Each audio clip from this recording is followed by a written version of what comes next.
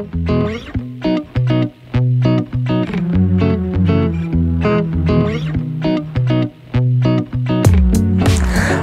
දරු සිර දෙනට. ඉතින් අද අපි විඩියෝ හැක්දාන්න අපි චැනල එකට. ගොඩක් දවසකින් මහිත සතයක හමාරකටතර පස්සේ. ඇති අදමං කරන්න බලාපොරොත්තුනේ අපි ව්‍යාප්තු සංගුණකය පටන්ගත්තා කලාප සම්තුලිත්තාවේ දෙවන කොටස.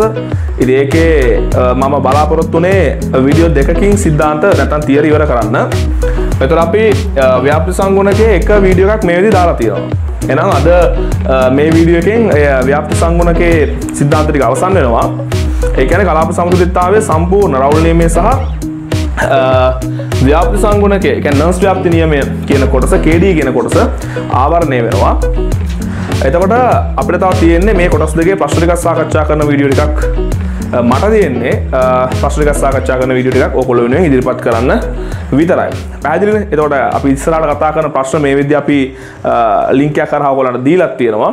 මං අර කලින් වීඩියෝල්ද කිව්වඒ පේපස් දෙක ඩවන්ලෝඩ් කරගන්න කියලා. එක මං අර Google ඩ්‍රයිවකට අප්ලෝඩ් කලා තිබ්බ.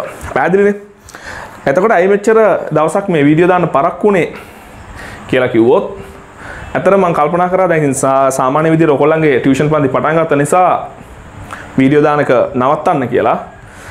හැබ මකට පොරොන්දුනා කේදිටිකත් ඉවර කරනවා කර්මාන්තරසායනත් ඉවර කරනවා කියලා. නමුත්තිං මගෙත් වැඩ කටයුතු නිසා ඒ කාර්ය බහලවීම සමග මට වීඩියක් කරගන්න වෙලාවක් තිබේ නෑ නමුත් නිතර නිතර මැසේජ් කරන ගරුප් එකට ඊට පස්ස කමෙන්ට් දාලා කියනවා මේකට වීඩියෝ ටික දාන වීඩියෝස් ටික දාන්න ඊට පස්සේ දාලා මේ කරන්න පටන් ගන්නට ඉවර කළ දෙන්න කියලා. ඉතින් මගේ වීඩියෝස් යට මේ කමෙන්ට් 100 200 එහෙම නෑ නමුත් අර මාත් එක්ක මොනවා වුණත් මුල ඉඳලා ඉඳ හිටපු දරුවෝ ටිකක් ඉන්නවා. ඒ දරුවෝ ඉතින් සුළු පිරිසක් ලොකු පිරිසක් නෙමේ. ඉතින් මා විශ්වාස කරයි දරුවෝ ටික. ඉතින් ඒ දරුවෝ ටික තවත් කමෙන්ට් දාලා කියන නිසා මේ වීඩියෝස් ටික දාන්න කියලා මම කල්පනා කරා කොහොම හරි වෙලාව ලැබෙන විදිහට ඒ පටන් ගත්ත වැඩ ඉවර කරන්න කියලා. හැබැයි දරුවෝ මට මෙහෙම පොරොන්දුවක් වෙන්න ඕන. කමෙන්ට් වලින් ඒ පොරොන්දුව වෙන්න වෙනවා. දැන් මට තියෙන කාලයත් එක්ක පුතේ මම මේ වීඩියෝ එක දැන් ඔයාලා දන්නවා මගේ අවසාන වීඩියෝස් වල මැද්ද එඩිට් නෑ. කෙලිම පැය නම් පැයම උගන්ලා කෙලිම වීඩියෝ එක එහෙම අප්ලෝඩ් කරා. මොකද තියෙන කාලයත් එක්ක මට අර එඩිට් කරලා එහෙම කරන්න වෙලාවක් තිබ්බේ නෑ. හැබැයි මොනවා වුණත් මම මේ රෙකෝඩ් කරන වීඩියෝ එක ආය පාරක් දෙපාරක් විතර බැලුවා.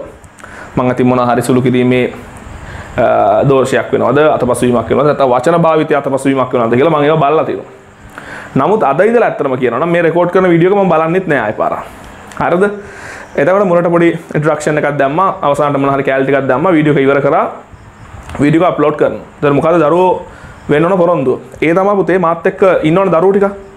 මගේ ඉගැන්වීමේ ක්‍රමය, මගේ අදහස් ගැන දන්න, ඊට පස්සේ මගේ බලාපොරොත්තුව මොකක්ද, ඇයි මේ වීඩියෝස් ටික දාන්නේ කියන ඒ කාරණා ටික පිළිබඳව අවබෝධයක් තියෙන දරුවෝ ටිකක් මාත් එක්ක හිටියා.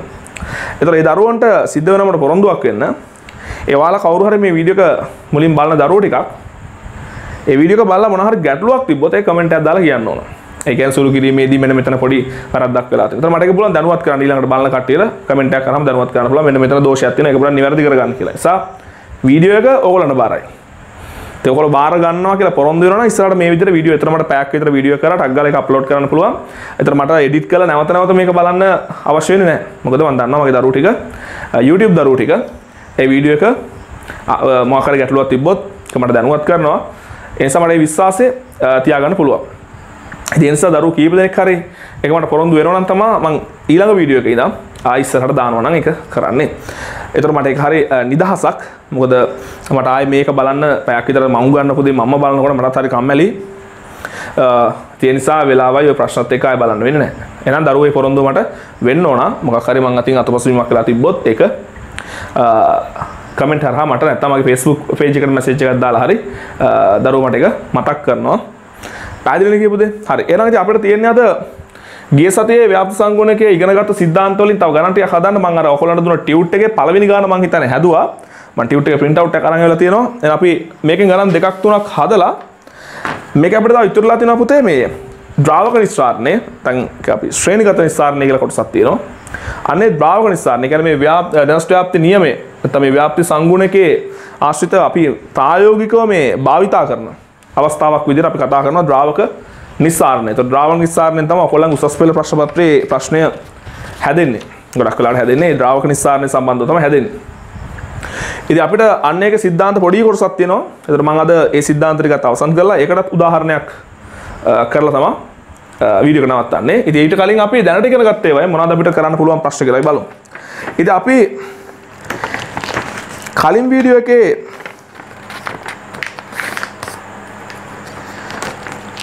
අවසානට මම ඔයාලට දුන්න ටියුට් එකේ පළවෙනි ගාන හදලා තියෙනවා. ඉතින් අපි අද ඒක දෙවෙනි ගාන බලමු. ඉතින් මම මේ ගණන් ටික දාලා තියෙන්නේ තාමත් ක්‍රමවත් විදිහට ඔයගොල්ලන්ගේ දැනුම වැඩි දියුණු කරගන්න පුළුවන් වෙන්න. ඒ කියන්නේ ගානකට ගානක් සම්බන්ධයි. ඒ කියන්නේ පළවෙනි ගානෙන් ගන්න එක්ස්පීරියන්ස් එකෙන් දෙවෙනි ගාන හදන්න පුළුවන්. දෙවෙනි ගානෙන් ගන්න එක්ස්පීරියන්ස් එකෙන් තුන්වෙනි ගාන හදන්න පුළුවන්. හැබැයි පළවෙනි ගානට වඩා දෙවෙනි ගාන වෙනස්. දෙවෙනි ගානට වඩා තුන්වෙනි ගාන වෙනස්. ස්ටෙප් බයි ස්ටෙප් ඔයගොල්ලන්ගේ අර ඒ හැකියාව වැඩි වෙන ආකාරයට තමයි මේ ප්‍රශ්න සෙට් එක හදලා තියෙන්නේ. මම හිතන්නේ ප්‍රශ්න 10ක් 12ක් මෙහෙම තියෙනවා. ඊට පස්සේ තමයි සාමාන්‍ය අර මිශ්‍ර අභ්‍යාස ටිකක් කියලා තියෙන්නේ. නිසා ඒ ගණන් ටික පිළිවෙලට හදාගෙන එන්න මම ඔයාලට කිව්වා මේක සාකච්ඡා කරන වීඩියෝ එකක් දෙනවා කියලා. ඉතින් කොහොමත් මේ වීඩියෝ එකෙත් අපි ප්‍රශ්න ටික සාකච්ඡා කරනවා. හරි බලන්න පුතේ A සහ B අණු එකිනෙක අමිශ්‍ර ද්‍රව දෙකකි. ඒතර ඒ දෙන තමයි AB තමයිගේ ද්‍රාවක දෙක වෙන්නේ. A ඝන සෙන්ටිමීටර් 25ක් සහ B ඝන සෙන්ටිමීටර් 75ක් බේරන පුනිලයකට දමා. X නම් සංයෝගයෙන් මවුල 0.07ක් පුනිලයට එක් කර හොඳින් සොලවා ස්තරවෙන් වෙන්නට ඉඩ හැර. සෙල්සියස් අංශක 25 උෂ්ණත්වයේදී පද්ධතිය. හරි අපි පොඩක් ඒ කියන්නේ මෙන්න මේ වගේ. දැන් ඔය බේරන පුනිලය කියන එක මෙන්න මේ වගේ ස්වරූපයක් තියෙන මගේ. රූප සටහන එච්චර ලස්සන නෑ. මේ ටැප් එකක් කොහම කරාමයක් තියෙනවා. එතන මේක අපි වහනවා පුතේ. හරි? ඊට පස්සේ මේකේ අපි හිතමු කවුද ඒ කියන කෙනා යටින් ඉන්නවා මම ආය ආය ගණන් හදද්දි මේ බේරන පුණිල ඇඳලා දින්නේ නෑ සාමාන්‍ය නිකන් බීකරයක් ඔය අඳින්නම් හරි මේකේ B කියන කෙනා උඩින් ඉන්නවා අපි එහෙම හිතමු එතකොට ඒක ගන සෙන්ටිමීටර් 25යි අරන් තියෙන්නේ. ඒ කියන්නේ A ස්තරයේ ගන සෙන්ටිමීටර් 25යි B වල 75ක් තියෙනවා. දැන් කලින් ගානට වඩා මේකේ මොකද්ද වෙනස? කලින් එකේ මං හිතන්නේ AB පරිමා සමාන වුණා. මේකේ පරිමා දෙක, ඒ කියන්නේ ද්‍රාවක ඒ අර එකිනෙකට වෙනස් කලාප දෙකේ පරිමා එකිනෙකට වෙනස් කරලා දෙනවා. ඒක මං කිව්වා අර ගානකට ගානක් සම්බන්ධයක් එනවා. නමුත් උඩ ගානට යට ගාන පොඩ්ඩක් වෙනස් වෙනවා. හරි. එතකොට මේකට මොකද කරන්නේ? මේ පද්ධතියට මේක වහලා තිබුණා මම මෙහෙම දාන්නම්. මේකට දානවා x කියන ද්‍රාව්‍ය. එතකොට මෙයා තමයි මේ දෙකේම දියවන කෙනා. දන්නවනේ දැන් තියරිය මතක ඇතිනේ. එතකොට x බිඳුවයි දශම බිඳුවයි හතයි මවුල එකතු කරලා තියෙනවා. දැන් මොකද්ද වෙන්නේ? අපි කරන්නේ මේකට x දාලා හොඳට මේක සොලවලා මේ x මේ ස්තර දෙකේ ව්‍යාප්ත වෙන්න දෙනම x මේ දෙකේම දිවලා ගතික සමතුලිතතාවයක් ඇති කරගන්නවා. මතක ඇතිනේ පුතේ. ඉතින් මේ පද්ධතිය මේ x දාලා හොඳට මේක මිශ්‍ර කරලා නිශ්චලව තිබ්බහම මෙන්න මේ වගේ අවස්ථාවකට පද්ධතිය එනවා. මේ වගේ අවස්ථාවකට එනවා. මොකද අවස්ථාව A ස්තරේ යට යනවා. දැන් මෙතන හැටියට නමුත් මම ඒ යට යනවා කියලා ගත්තේ මම හිතනවා ඒකේ ඝනත්වය වැඩි කියලා. ඉතින් ඒකෙදී ඔයගොල්ලෝ A උඩට දාලා B යටට දැම්මත් ප්‍රශ්නයක් නැහැ. මෙතන කොහෙවත් කියලා නැහැ ඒකේ ඝනත්වය වැඩි කියලා. මම නිකන් හිතුවා. එහෙම ප්‍රශ්නයක් නැහැ පුතේ. හරි. එතන B ඝන සෙන්ටිමීටර් 75 උඩින් ඉන්නවා. A ඝන සෙන්ටිමීටර් 25 යටින් ඉන්නවා. දැන් මොකද වෙන්නේ? x මේ ස්තර දෙකේ ව්‍යාප්ත වෙලා ගතික සමතුලිතයකට එනවා. මෙන්න මේ විදිහට එනවා. අපිට දත්තයක් දීලා දෙනවා පුතේ. මෙන්න මේ විදිහට ගතික සමතුලිතතාවයට ආවට පස්සේ ඒ ස්තරය විශ්ලේෂණය කළ විට සොයාගන්නුනේ ඒ තුල x යා. මෙන්න මේ ඒ ස්තරය තුල x මාවල 0.03ක් තියෙනවා. ඉතින් පුතේ අපි දැනගන්නවා මෙන්න මේ 0.07 මේ බේර පුනිලය තුල තියෙනවා. ඒතර ඒ ස්තරය තුල 0.03යි නම් x ගේ තියෙන්නේ. එහෙනම් මේ 0.07 ඉතුරු ටික තියෙන්නේ කොයි ස්තරේද? b ස්තරේ තියෙනවා. පැදිලි නේ කියපුදේ. එහෙනම් ඒ කියන්නේ අපිට ප්‍රශ්නෙට යන්න කලින්, ඒ කියන්නේ ප්‍රශ්නකට යන්න කලින් අපේ ප්‍රශ්න මොනවායි දන්නේ අපිට කියන්න පුළුවන් මෙතන තියෙන 0.07 අඩු කිරීම 0.03යි මවුල කියලා. අපිට ඒක නිකන් කියන්න පුළුවන්. මෙතන හරි සරලයි. හරි? ප්‍රශ්න මොනවා අහනවද දන්නේ නැහැ. නමුත් අපි නිකන් දාගත්තා. හරි? Uh, right. එතන අපි අහන පළවෙනි ප්‍රශ්නය මම මෙතන හදන්න නේද? B ස්තරය තුල අඩංගු XC මවුල ගන්න. ඉතින් අපි දන්නවා ඇත්තරම නිකන් ප්‍රකාශනයක් ලියනවා නම් A ස්තරය තුල XC මවුල ධන. ඒ කියන්නේ මේ ස්තර දෙකේ තියෙන XC මවුල සංඛ්‍යාව මුළු මවුල සංඛ්‍යාවට සමාන වෙනවානේ. A ස්තරය තුල XC මවුල ධන B ස්තරය තුල XC මවුල සමානයි දාව මුළු මවුල. ඉතින් පුතේ A ස්තරය තුල තියෙන මවුල තියෙනවා මේ? 0.03යි. ධන. B. ස්තරය තුල XC මවුල. ඉතින් මෙහෙම ලියලිය ඉන්න ඕනේ. මම අර පළවෙනි ගාන දෙවෙනි ගාන නිසා මේ පොඩක් ලියන්නේ. 0.07යි කියන්නේ ඔයාලා විභාගෙට ලියුව ප්‍රශ්නයක් නෑ පුතේ. ඔයාලා විභාගෙට මේ જાති එක ගානනේ ඉන්නේ ඒතර මම දැන් මෙතන මේවයි ගණන් රාශියක් හදාන ගත්තොත් මට මේක නැවත නැවත ලියන්න වෙනවා එහෙම මම ලියන්නේ නෑ. මම මේ ලියන විදිය පෙන්නන්නම් ඕනනම් ඒතර හරි පිළිවෙලයි වැඩේ. තාර්කිකයි. ඒතර B ස්තරය තුල එක්C මවල අප ටලී ලතිවර වෙන බිදසම බිඳුව හත අඩු කිරීම බිදසම බිඳුව තුනයි. එක බිනසම බිඳුව හතරයි මවල නොනපද හරි. එනවන සිම්පල් ඒ ප්‍රශ්නය හරි. මට මේ බෝඩ ම හිතන පේන ඇති කලන අපට මේ පාවිච්චි කරන පුළන් ගන්න හදන්න. B ඒ ස්තර එක්සි සාන්ද්‍රණය. එන මට පුළුවන් ඒ ස්තරය තුළ එක්සි සාන්ද්‍රණය. මැකරුහන්න පුළුවන්නේ. ඒ ස්තරය තුළ එක්සි සාන්ද්‍රණය හන්න පුළුවන්. එත ඒ ස්තරය තුළ බිඳුව දශම බිඳුවයි තුනයි මවල තියෙනවා. ති මවල පරිමාවෙන් බෙදන්න සාන්ද්‍රණය හන ම විසි පහ වැඩිකිරීම දහයරය තුනයි ගඩසිමිට පුතේ සාමානයම සාන්ද්‍රණය හදදි සී සමානයි එන් බෙදීම වීක සමීකන භාවිතා කරන කෙලීම මවල පරිමාවෙන් බෙදෙනවා. ඒ පරිමාව ගඩසිමිට කළ. නැත්තං ඉතිවලන්න කෝල් ලැක ම මෙම කට කරන්න මංක එඩිට කරන නෑ කියලා. හරි. එසා මේ සද්ධ බද දින මයික පොට සයිල් දාන්න. රයිට් හරි. වීඩිය මැද එඩිට් නෑකිවවා ඒසා මංකු අතපසවීමක් වුණොත් එකන මේ ගැටලුවල මෙසුළු කිරීමල මනහ තිබොත් මාත්‍යකන්න දරුවෝ එක මට මතක් කරන්න ඒ පොරොන්දු මතදා මංකිව මේක කෙර නිස්තරහට හරි. එතර මෙතන උත්තරකමට ගන්න පුළුවන්. බින්දසම් බින්ද තුන එකන මෙතන මේ දාහ මේක දහරිතර උඩට ගයාම එක දහක් වෙනවා. එතොට එකයි තුනයි තියයි. තියබදීම විසි පහයි මවල ගන්න. එතන මේ සුළු කර තිබත් හොඳයි පුතයර සුළු කර දිය. මොද මෙතන සාන්ද්‍රය හනෝන එතට තිහට එකක් තියෙනවා නේ? තියර එකක් තියෙනවා. ඇතරම සුළු කරන්න ගොත් වීඩියක වීඩියෝ එක වෙලා වැඩිවෙන එනිසාම මෙහෙම කරන්න පුතේ වා සුළු කළ උත්තර දාන්න. මම මෙහෙම දියාගන්න. හරි? මවල ගන්න ඩෙසිමීටර් ඉතින් මේවා සුළු කර කර පෙන්වන්න අවශ්‍ය නැහැ නේ ඔයාලට තේරෙනවනේ. එහෙනම් B ස්තරය තුල B ස්තරය තුල XC සාන්ද්‍රණය. එතකොට අපිට එනවා 0.04යි මවුල බෙදීම නේද? B ස්තරය තුල? හරි. පරිමාව කොච්චරද 75 වැඩි කිරීම 10 3යි ඩෙසිමීටර. එතකොට මේකත් මොකද වෙන්නේ? එකක් පයින්නවා තව එකක් පයින්නවා තව එකක් පයින්නවා. ඒ කියන්නේ මේ 10 රින් තුන උඩට ගියාම 1000ක් වෙනවා. එතකොට මේක 40 බෙදීම 75 ඒකගේ මවුල ගන්න ඩෙසිමීටර. පුතේ මේ විදිහට වෙන වෙන ප්‍රශ්න වල ඒ ස්තරයේ සාන්ද්‍රණය B ස්තරයේ සාන්ද්‍රණය හොයන්න කියලා තිබ්බොත් ඔයාලා සුළු කළ උත්තරේ තියන්න පුතේ. සුළු කළ උත්තරේ තියන්න. හරිද? එහෙම නැත්නම් ඔයාලට මෙහෙම සුළු කරන්න නැතුව තියාගත්තාම ලේසියි. මොකද ආදේශයේදී කැපෙනවා. දැන් බලන්න මොකක්ද ඒගොල්ලෝ අහන්නේ A සහ B තුල XC ව්‍යාප්ති සංගුණකයේ සඳහා KD ප්‍රකාශනය. ඒතර පුතේ ඒකෙදි ඔයගොල්ලන් ලියන්න පුළුවන් KD සමානයි. හරි දැන් මෙතන හැටියට නම් මම ගන්නම් X හරි A තුල සාන්ද්‍රණය බෙදීම X B තුල සාන්ද්‍රණය. ඉතින් කැමති කෙනෙක්ට මේක B තුල සාන්ද්‍රණය බෙදීම A තුල සාන්ද්‍රණය කියලා ගන්නත් පුළුවන් ගැටලුවක් නැහැ. ආදේශ කරද්දී ඔයා මේ ලියපු ප්‍රකාශනයට ආදේශ කරන්න. ඒතර තමයි උත්තරේ ගන්න මැච් වෙලා එන්නේ. ඊට පස්සේ අපි අහනවා සෙල්සියස් අංශක 25 දී KD ගණනය කරන්න. එහෙනම් මේකට අපි ආදේශ කරමු. ඒතර මම මෙතනදී A ගේ X A ස්තරය තුල X ගේ සාන්ද්‍රණය උඩ ලියලා තියෙනවා. ඒ විදිහට තමයි ආදේශ කරන්න. ඒ කියන්නේ මේ තියෙන්නේ A ස්තරය තුල X සාන්ද්‍රණය. මේක උඩට දාන්න ඕන මේක යටට දාන්න. එතකොට D මේ හරිය පේනවා ඇති. හරි D KD සමානයි මොකක්ද වෙන්නේ? 30 බෙදීම 25ට 40 බෙදීම 75. මේවට ඒකක දාන්න. දාලා කපන්න. හරි දාලා කපන්න. එතකොට යම් තාක් දුරට මේක සුළු වෙලා උත්තරයක් එනවා. මම උත්තරේ සුළු කරන්න යන්නේ නැහැ. මොකද වීඩියෝ එක දිග වැඩි වෙන නිසා. ඔයාලට පුළුවන්. ඉතින් මේ වගේ දේවල් මම සුළු කර කර කියන්න අවශ්‍ය නැහැ නේද? ඒක සාධාරණයි නේද? ඔයගොල්ලෝ මම හිතනවා ඔයගොල්ලෝ ඒ මම කියන දේ එකඟ වෙයි. එතන මීට වඩා අපි වීඩියෝ එකේ කතා කරන්න ඕන දේවල් තව තියෙනවා. හරි මොකද මම මේක සුළු කරන් ඇවිල්ලා නෑ. හරි ඉරිස තුන්ගනි ගාන සතුන් බලමු තුන්ගනි ගාන මීට වඩා කොහොමද වෙනස් වෙන්නේ කියලා මම මේ පද්ධතියම දාගන්න පුතේ. හරි තුන්වෙනි ගානේ මොකක්ද ඔයාලට අලුතෙන් ඉගෙන ගන්න තියෙන්නේ. ඔන්න බලන්න තුන්වෙනි ගානේ A හා B අණු B අණු එකිනෙක අමිශ්‍ර ද්‍රව දෙකකි. A හි ඝන සෙන්ටිමීටර් 25යි හරියටම හරි B ගෙත් ඝන සෙන්ටිමීටර් 25යි. B ගෙත් ඝන සෙන්ටිමීටර් 25යි. හරි? බේරණ පුනියකට තමා එක් නම් සංයෝගයෙන් ග්‍රෑම් දෙකයි දශම තුනක්. පුතේ යන්න ස්කන්ධයක් විතර දෙන්න. දැන් ඉස්සලා මවුලනේ. දෙකයි දශම තුනයි. හම ග්‍රෑම් දෙනවලු.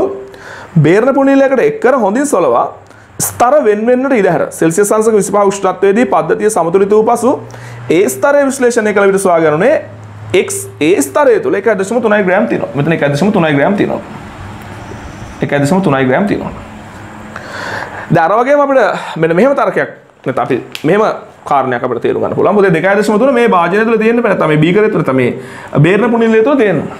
එතකොට ඒ ස්තරය තුළ 1.3යි නම් තියෙන්නේ. එහෙනම් අපිට කියන්න පුළුවන් ඉතුරු ටික තියෙනවා මොන ස්තරය තුළද? B ස්තරය තුළ තියෙනවා. නෝකතර තේරුම් ගන්න. දැන් මේවා මේ මකන්න ගියාම මේ හිල් වෙනවා. ඔය ගණන් ගන්න එපා. එහෙනම් මෙතන අපි ධම්ම 2.3 ඍණ 1.3 ප්‍රමාණයක් B ස්තරය තුළ තියෙනවා. ඒක අනිවාර්යෙන් ප්‍රශ්නය අහයි. පැහැදිලි නේද? රයිට් දැන් එතකොට මොකක්ද ඒගොල්ලෝ අපිට කරන්න කියන්නේ කියලා බලමු. මම මේ ටික මකන්නම්. දැන් මේ මකනේවා එහෙම අපි එඩිට් කරලා අයින් කරන්න. එක මතක තියාගන්න. හරි? ඒවල කාලේ යම් පොඩ්ඩක් වැඩි වෙනවා. වැය වෙනවා. ඒකට කරන්න දෙයක් නැහැ රයිට් අපි අහන පළවෙනි ප්‍රශ්නය B ස්තරය තුල x ස්කන්ධය ගණනය කරලා අපි කෙටියෙම ලියමුනේ. සිම්පල් A මෙතන හදමුද? Simple A. එතකොට අපි ලියමු. B තුල x ස්කන්ධය. හරිම කෙටියෙන්. එතොර අපි දෙකයි දශම තුනක් ග්‍රෑම් දැම්මා. ඒ ස්තරය තුළ එකයි දශම තුනක් තියෙනවා. එනම් මේ දෙකයි දශම තුනෙන් එකයි දශම තුන ඒ කියන්නේ දාපු මුළු ප්‍රමාණයෙන් ඒ ස්තරය තුළ තියෙන ටික අඩු කරපුවාම එනවා මොන ස්තරය තුළද B ස්තරය තුළ ටික ඒ කියන්නේ දෙකයි දශම තුන එකයි දශම තුනක් ගියාම එකයි ග්‍රෑම් නේද හරි පැහැදිලි ඊට පස්සේ B ඒ ස්තරයේ එක්සි සංයුතිය ග්‍රෑම් ගණ සෙන්ටිමීටර් වලින් ගණනය කරන්න. පුතේ මතක තියාගන්න මේ KD ට මවුල ගණ දෙසිමීටර් වලින් ආදේශ කරන්න කියලා එකක් නැහැ. අපිට ග්‍රෑම් ගණ සෙන්ටිමීටර් වලින් ආදේශ කරන්න පුළුවන්. හරිද? එතකොට ඔන්න බලන්න. ඒ තුල එක්සි සංයුතිය සමානයි.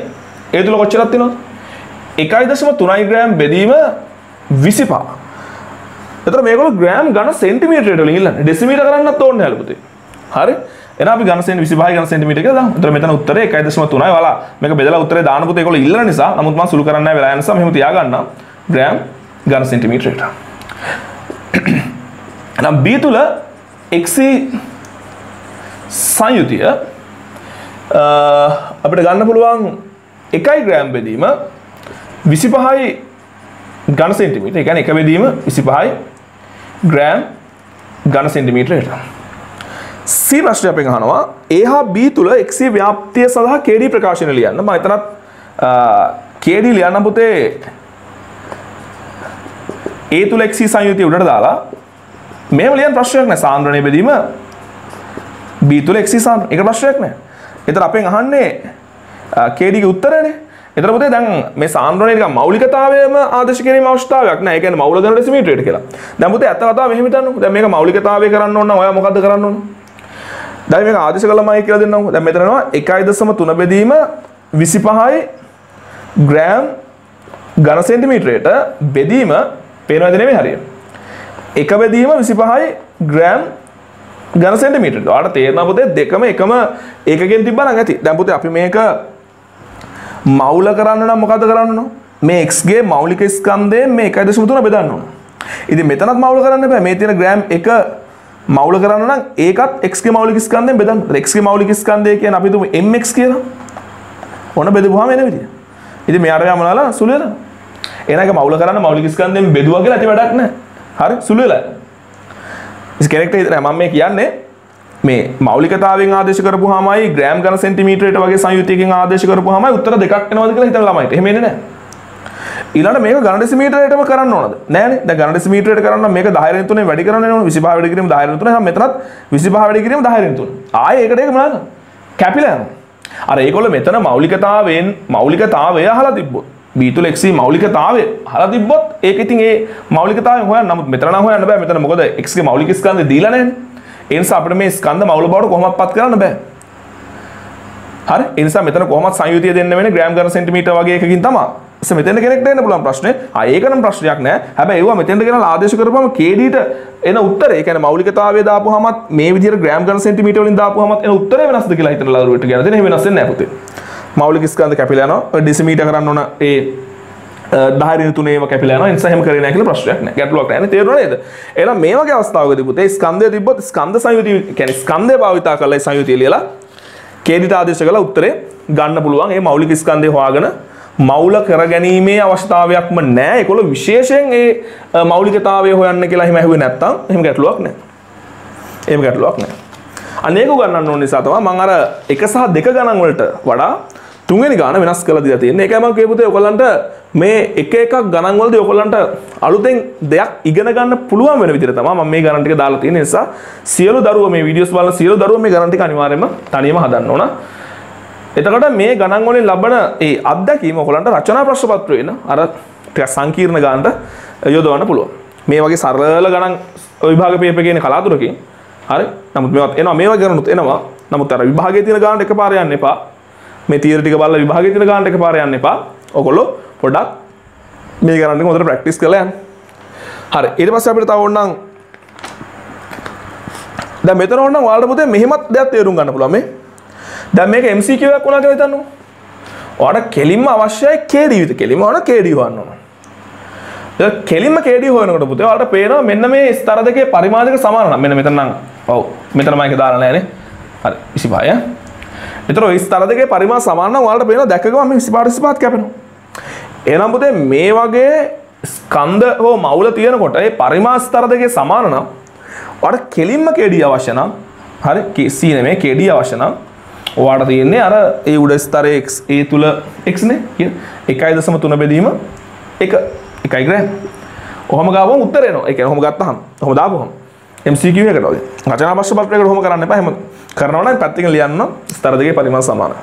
අර වායි එක දන්නවා කියලා පෙන්වන්න ඕන. නිකන් ආදේශ කරා නෙමෙයි. වගේ තර්කයක් ඇතුව ආදේශ කරේ කියලා.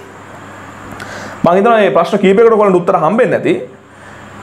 එතකොට මේ වගේ සංයුති හොයන්න කියලා තිබොත් පරිමාණ බෙදලා පෙන්නන්න. එහෙම නැත්නම් ඔයාලට කෙලින්ම KD ඇහුවොත් KD සමානයි අර එක ස්තරයක ස්කන්ධය බෙදීමේ අනිත් ස්තර ස්කන්ධය. හැබැයි එහෙම දාද්දී ඒ පරිමාණ සමාන වෙලා තියෙනවා. පරිමාණ වෙනස් වුණොත් බෑ. පරිමාණ වෙනස් වුණොත් බෑ. අපි ඊළඟ ගාන බලමු. ඊළඟ ගානේදී මෙහෙම කෙලින්ම ස්කන්ධ විතරක් ලියලා KD හොයන්න බෑ. ඊළඟ එකේ මම හිතන්නේ හතරවෙනි ගානේදී මම පරිමාණ වෙනස් කරලා දෙනවා. A සහ B යනු එකිනෙක අමිශ්‍ර ද්‍රව දෙකකගේ A හි ඝන සෙන්ටිමීටර් 25යි B හි ඝන සෙන්ටිමීටර් 75යි. බිහි ගන්න සෙන්ටිමීටර් 75යි. දැන් මේක නියම ප්‍රයෝජනය තියෙන මේ අර කලින් වීඩියෝ එක බලලා මේ ගණන් ටික හදපු දරුවන්ට. ඒ නිසා මම කැමතියි අලුතෙන්ම මේ වීඩියෝ එකට එකතු වෙන දරුවෙක් ඉන්නවනම් කලින් වීඩියෝ එකත් බලලා ගණන් ටිකත් හදලා මේ වීඩියෝ එක බලුවොත් තමයි ඒකේ අර හොඳ කියන්නේ කාර්යක්ෂමතාවය වැඩි. කාර්යක්ෂමතාවයනේ ගැලපෙන වචනේ. හරි. කොහොම හරි කමක් නෑ. එතන මෙතන ඒගේ 25යි නේ. ඒගේ 25යි B ගේ 75යි. ඒගේ 25යි බීගේ හැත්තපයි ඔන්න ඔයගේ වතාව පුතේ මම බලන්න කිව්වේ හරි මම අතින් වරදිනවද කියලා එතකොට කොච්චරක් දාන්නේ 2.3යිමයි දාන්නේ විශ්ල ඒ තුල 1.8ක් තිබල ඒ තුල 1.8ක් තිබල පොඩක් වෙනස් කළා ඒ තුල 1.8යි එහෙනම් මෙතන ඉන්න පුතේ 2.3 බෙදීම 1.8ක් නේ. දැන් ඒක කරගන්න හැමෝටම තේරෙනවනේ. අනිවාර්යයෙන් මේ දාපු ටික මේ දෙකේ තියෙන්නේ පැනේ. ඒක එක ස්තරයක දුන්නාට පස්සේ අනිත් ස්තරය හොයාගන්න පුළුවන්. එතකොට මේක අහනවා B ස්තරය තුල x ස්කන්ධය ගණනය කරන්න. එතකොට මෙතෙන්ට එන්න පුතේ 1.8 ඒ කියන්නේ 0.5 නේ උත්තරේ. 0.5යි. 0.5 මම මෙහෙම ලියා යන්නම්. A සහ B තුල x ව්‍යාප්තිය සහ KD ප්‍රකාශන. ආ කෙලිම KD ප්‍රකාශනය අහනවා. සංයුතිය අහන්නේ. සංයුතිය අහන්නේ හරි. ඒ කියන්නේ මෙහෙම දෙකක් එන්නේ නැහැ. මම මේක මහලා දාන්න අලුතෙන් ලියන්න හරි. right. එතන අපෙන් B අහනවා මොකක්ද ඒ සහ B තුළ x ව්‍යාප්තිය සඳහා KD ප්‍රකාශනය මම KD ප්‍රකාශනය ලියන්නම් x A තුළ සාන්ද්‍රණය බෙදීම x B තුළ සාන්ද්‍රණය මේ කොටු අරන් හරි C අපෙන් අහනවා සෙල්සියස් අංශක 25යි උෂ්ණත්වයේදී KD ගණනය කරනකොට KD ගණනය කරද්දී මම ලියා ගන්න සංයුතිය මේ දැන් මෙන්න මෙතනදී දැන් බලන්න සංයුතිය ඇහුවේ නැහැනේ. ඒතර ආදේශ කරනකොට මෙහෙම ගන්න මේ KD සමානයි. පුතේ මෙතන නිකන් ඔයාට අර මෞලිකතාවය ආදේශ කරපු පුරුද තිබ්බට එහෙම මෞලිකතාවය දෙමි අවශ්‍යතාවයක් නැහැ. ඔයාට ග්‍රෑම් ගන්න සෙන්ටිමීටරයට වගේ ලියන්න පුළුවන් සංයුතිය. ඕනනම් ලියන්න A තුල x සංයුතිය ග්‍රෑම් ගන්න සෙන්ටිමීටර වලින් B x තුල සංයුතිය ග්‍රෑම් ගන්න සෙන්ටිමීටර වලින් හොයලා වඩා හොඳයි. ඒක ඊට පස්සේ ආදේශ කරන්න මම කෙලිම ආදේශ වුණාම වෙන විදිය ලියන්නම්. A තුල x තිබ්බ 1.8ක්. පරිමාව 25යි. එතන මේ කියන්නේ මොකද්ද? ග්‍රෑම් ගන්න සෙන්ටිමීටරයට. පළවෙනි ආදේශය මෙහෙම දාන්නේ කියන්නේ. ඔය එක ලියලා ග්‍රෑම් ගන්න සෙන්ටිමීටර ටික ලියන්න. මොන ඒකකින්ද තියෙන සංයුතිය? ඊට පස්සේ යට එනවා B ස්තරය තුළ x තියෙන 0.5ක් මේ 0.5 0.5 බෙදන්න ඕන පරිමාව 75යි. ග්‍රෑම් ඝන සෙන්ටිමීටරයට. දැන් උත්තරේ ගන්න. දැන් මේක කැපිලා යනවා 25ට 3යි 3 ඉර උඩට එනවා. ඉතින් උත්තරේ ගන්න. ඒක සුළු කරන්න ඕනේ නැහැ නේ මම. හරි. එතකොට මේක සුළු කරන්නත් කාලයක් ගත වෙනවනේ. ගණන් පහක් හදලා අපි අලුත් තියරි කැලට යමු. ගණන් පහක් හදලා. හරි. දැන් මේක හතරවෙනි ගාන මම අංක දැම්මෙත් නෑ ඔයාලා පටල ගන්න එපා වීඩියෝ එක මුලින් බලනවා නම් පැටලෙයි. මැදින් බලනවා නම් පැටලෙයි. ඒ දැන් හතරවෙනි ගාන තමයි හදලා ඉවර කරේ. දැන් ඔන්න මම පස්වෙනි ගානට යනවා. පස්වෙනි ගානට හරි පස්වෙනි ගානට යනවා. A සහ B යනු එකිනෙක අමිශ්‍ර ද්‍රව දෙකකගේ XC සාන්ද්‍රණය බියන්න පුතයි මේක පොඩ්ඩක් අලුතෙන් පටන් ගමු. දැන් ඔයාලා මේ හදපු හැම ගානකම දැක්ක දෙයක් තමයි පුතේ. ඔය බේරණ පුනිලයට හරි ඒ බීකරයට හරි මුලින්ම මේ ද්‍රාවක දෙක දාලා ඉන්නවා. ඒ ද්‍රාවක දෙක දාලා තමා පුතේ පස්සේ ද්‍රාව්‍ය එකතු කරන්නේ. පස්සේ ද්‍රාව්‍ය එකතු කරන්නේ. හැබැයි මෙන්න මේ කියන ගතික සමතුලිතය. මෙතන තිබ්බ ගතික සමතුලිතයට එන්න පුළුවන් තව විදිහක් තියෙනවා. ඔය වගේ පුතේ මුලින්ම මම මේ කලින් වීඩියෝ එකේ කිව්වද කියලා මට මතක නැහැ.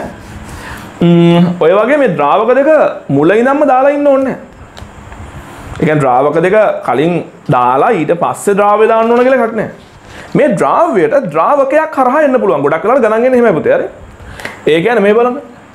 ඔය ව්‍යාප්ත වෙන තුන්වෙනියා මේ වෙද්දිම ද්‍රාවකයක් තුළ දිය වෙලා තියෙන. එක්සි සාන්ද්‍රණය 0.75යි මවුල sorry. එක්සි සාන්ද්‍රණය 0.25යි ඝන ඩෙසිමීටරට A. අන්න පුතේ. මේ ඒක ලියන්න මෙහෙම x කවුරු තුලද A තුල. කොච්ච සාන්ද්‍රණය කොච්චරද?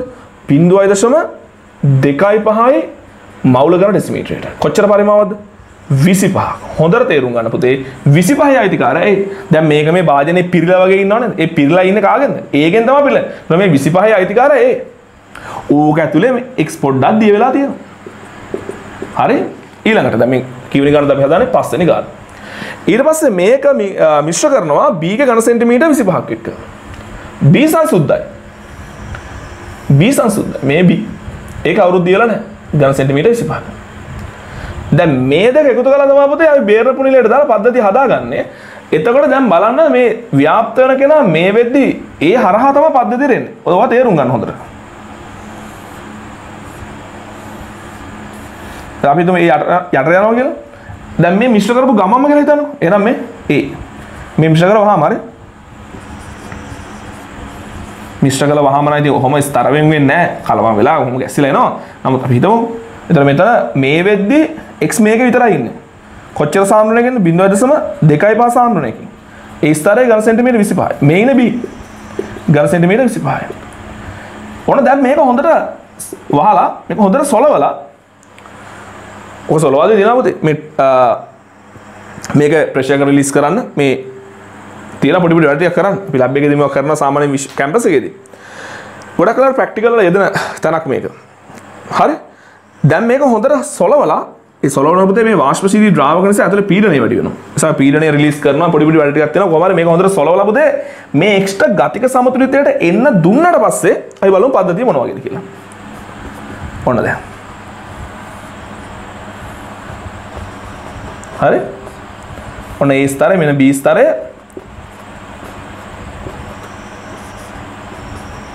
කැතයි නේ කමන්නේ. දැන් ඔන්න අහගන්න පුතේ දැන් මේක x ඒ කියන්නේ අර ඝන සෙන්ටිමීටර් 25 තුල x යම් මවුල සංඛ්‍යාවක් තිබ්බනේ. එතකොට මේ 0.25 සාන්ද්‍රණය පෙන්නේ. දැන් a ගේ ඝන සෙන්ටිමීටර් 25 පරිමාව එහෙමම දෙනවා b ගේ ඝන සෙන්ටිමීටර් 25ත් එහෙමම තියෙනවා. හැබැයි පුතේ දැන් x ස්තර දෙක අතරම ව්‍යාප්ත වෙලානේ. ඒ කියන්නේ අර මේක තිබ්බ x වලින් කොටසක් මේකට ගියානේ. ඉතින් ඔයාලට පේනවා c සමානයි n බෙදීම v පරිමාව නියතව තියෙදි මවුල අඩු වුණොත් පුතේ සාන්ද්‍රණයත් අඩු වෙනවා. ඒ කියන්නේ පුතේ දැන් a තුල තවදුරටත් x සාන්ද්‍රණය 0.25ක් වෙන්න බෑ. දශම දෙකයි පහක් වෙන්න බෑ. දැන් යම් මවුල ප්‍රමාණයක් B තුලට ආවට පස්සේ B තුල x සාන්ද්‍රණයක් ගොඩනගන මම ඒක C1 කියලා දාන්න. C1 මවුල ගන්න ඩෙසිමීටරයට. පුතේ හොඳට අහගන්න. මෙන්න මේ පරිමාදක සමාන නම් විතරක් මොකක්ද? මෙන්න මේ පරිමාදක සමාන නම් විතරක් ලියන්න පුළුවන් පුතේ මෙතන දැන් මෙතන ඉතුරුලා තියෙන සාන්ද්‍රණය x නිසා දැන් ඉතුරුලා තියෙන x නිසා ඉතුරු සාන්ද්‍රණය 0.25 ඍණ c කියලා ලියන්න පුළුවන් පුතේ මෙත C1 කියලා මෙතන ඇතිවෙච්ච සාන්ද්‍රණය ඒ කියන්නේ 0.25 මෙතන ඇතිවෙච්ච සාන්ද්‍රණය අඩු කරපුවම දැන් මේ සමතුලිතයේදී ඒ තුල x සාන්ද්‍රණය එනවා. එතන මෙතන C1 නම් මෙතන 0.25 ඍණ C1 කියලා ලියන්න පුළුවන් වෙන්නේ මොනවා වුණොත් විතරද පරිමාදක සමාන නම් විතරයි. විතරයි. එහෙම ලියාගත්තාම ලේසි. එහෙම ලියාගත්තාම ලේසි. පැහැදිලි නේ කියපුදේ? මොකද උනේ දැන් මෙතන 0.25 සාන්ද්‍රණය තිබ්බා x b ස්තරයට යන්න යන්න මෙතන සාන්ද්‍රණය අඩු වුණා. ඒ ගතික සමතුලිතතාවයට එනකොට B තුල x ගේ සාන්ද්‍රණය C1 නම් අපිට A ස්තරය තුල ලියන්න පුළුවන් පුතේ x ගේ සාන්ද්‍රණය අර තිබ්බ සාන්ද්‍රණය අඩු කිරීම දැන් B තුල තියෙන x ගේ සාන්ද්‍රණය කියලා ලියුවාම එනවා A තුල x ගේ සාන්ද්‍රණය ගතික සමතුලිතතාවයේදී. ඔය වගේ ළමයිට ලියා ගන්න පුළුවන් වෙන්න උන පරිමාදක සමාන නම්.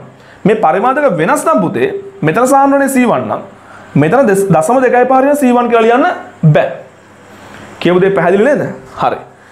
දැන් ඔන්න ඔය ටික දාගත්තට පස්සේ අපි බලමු මොනවද අහන. හරි හරි. මේක තාපට හින්ට එකක් දී අති අපිට.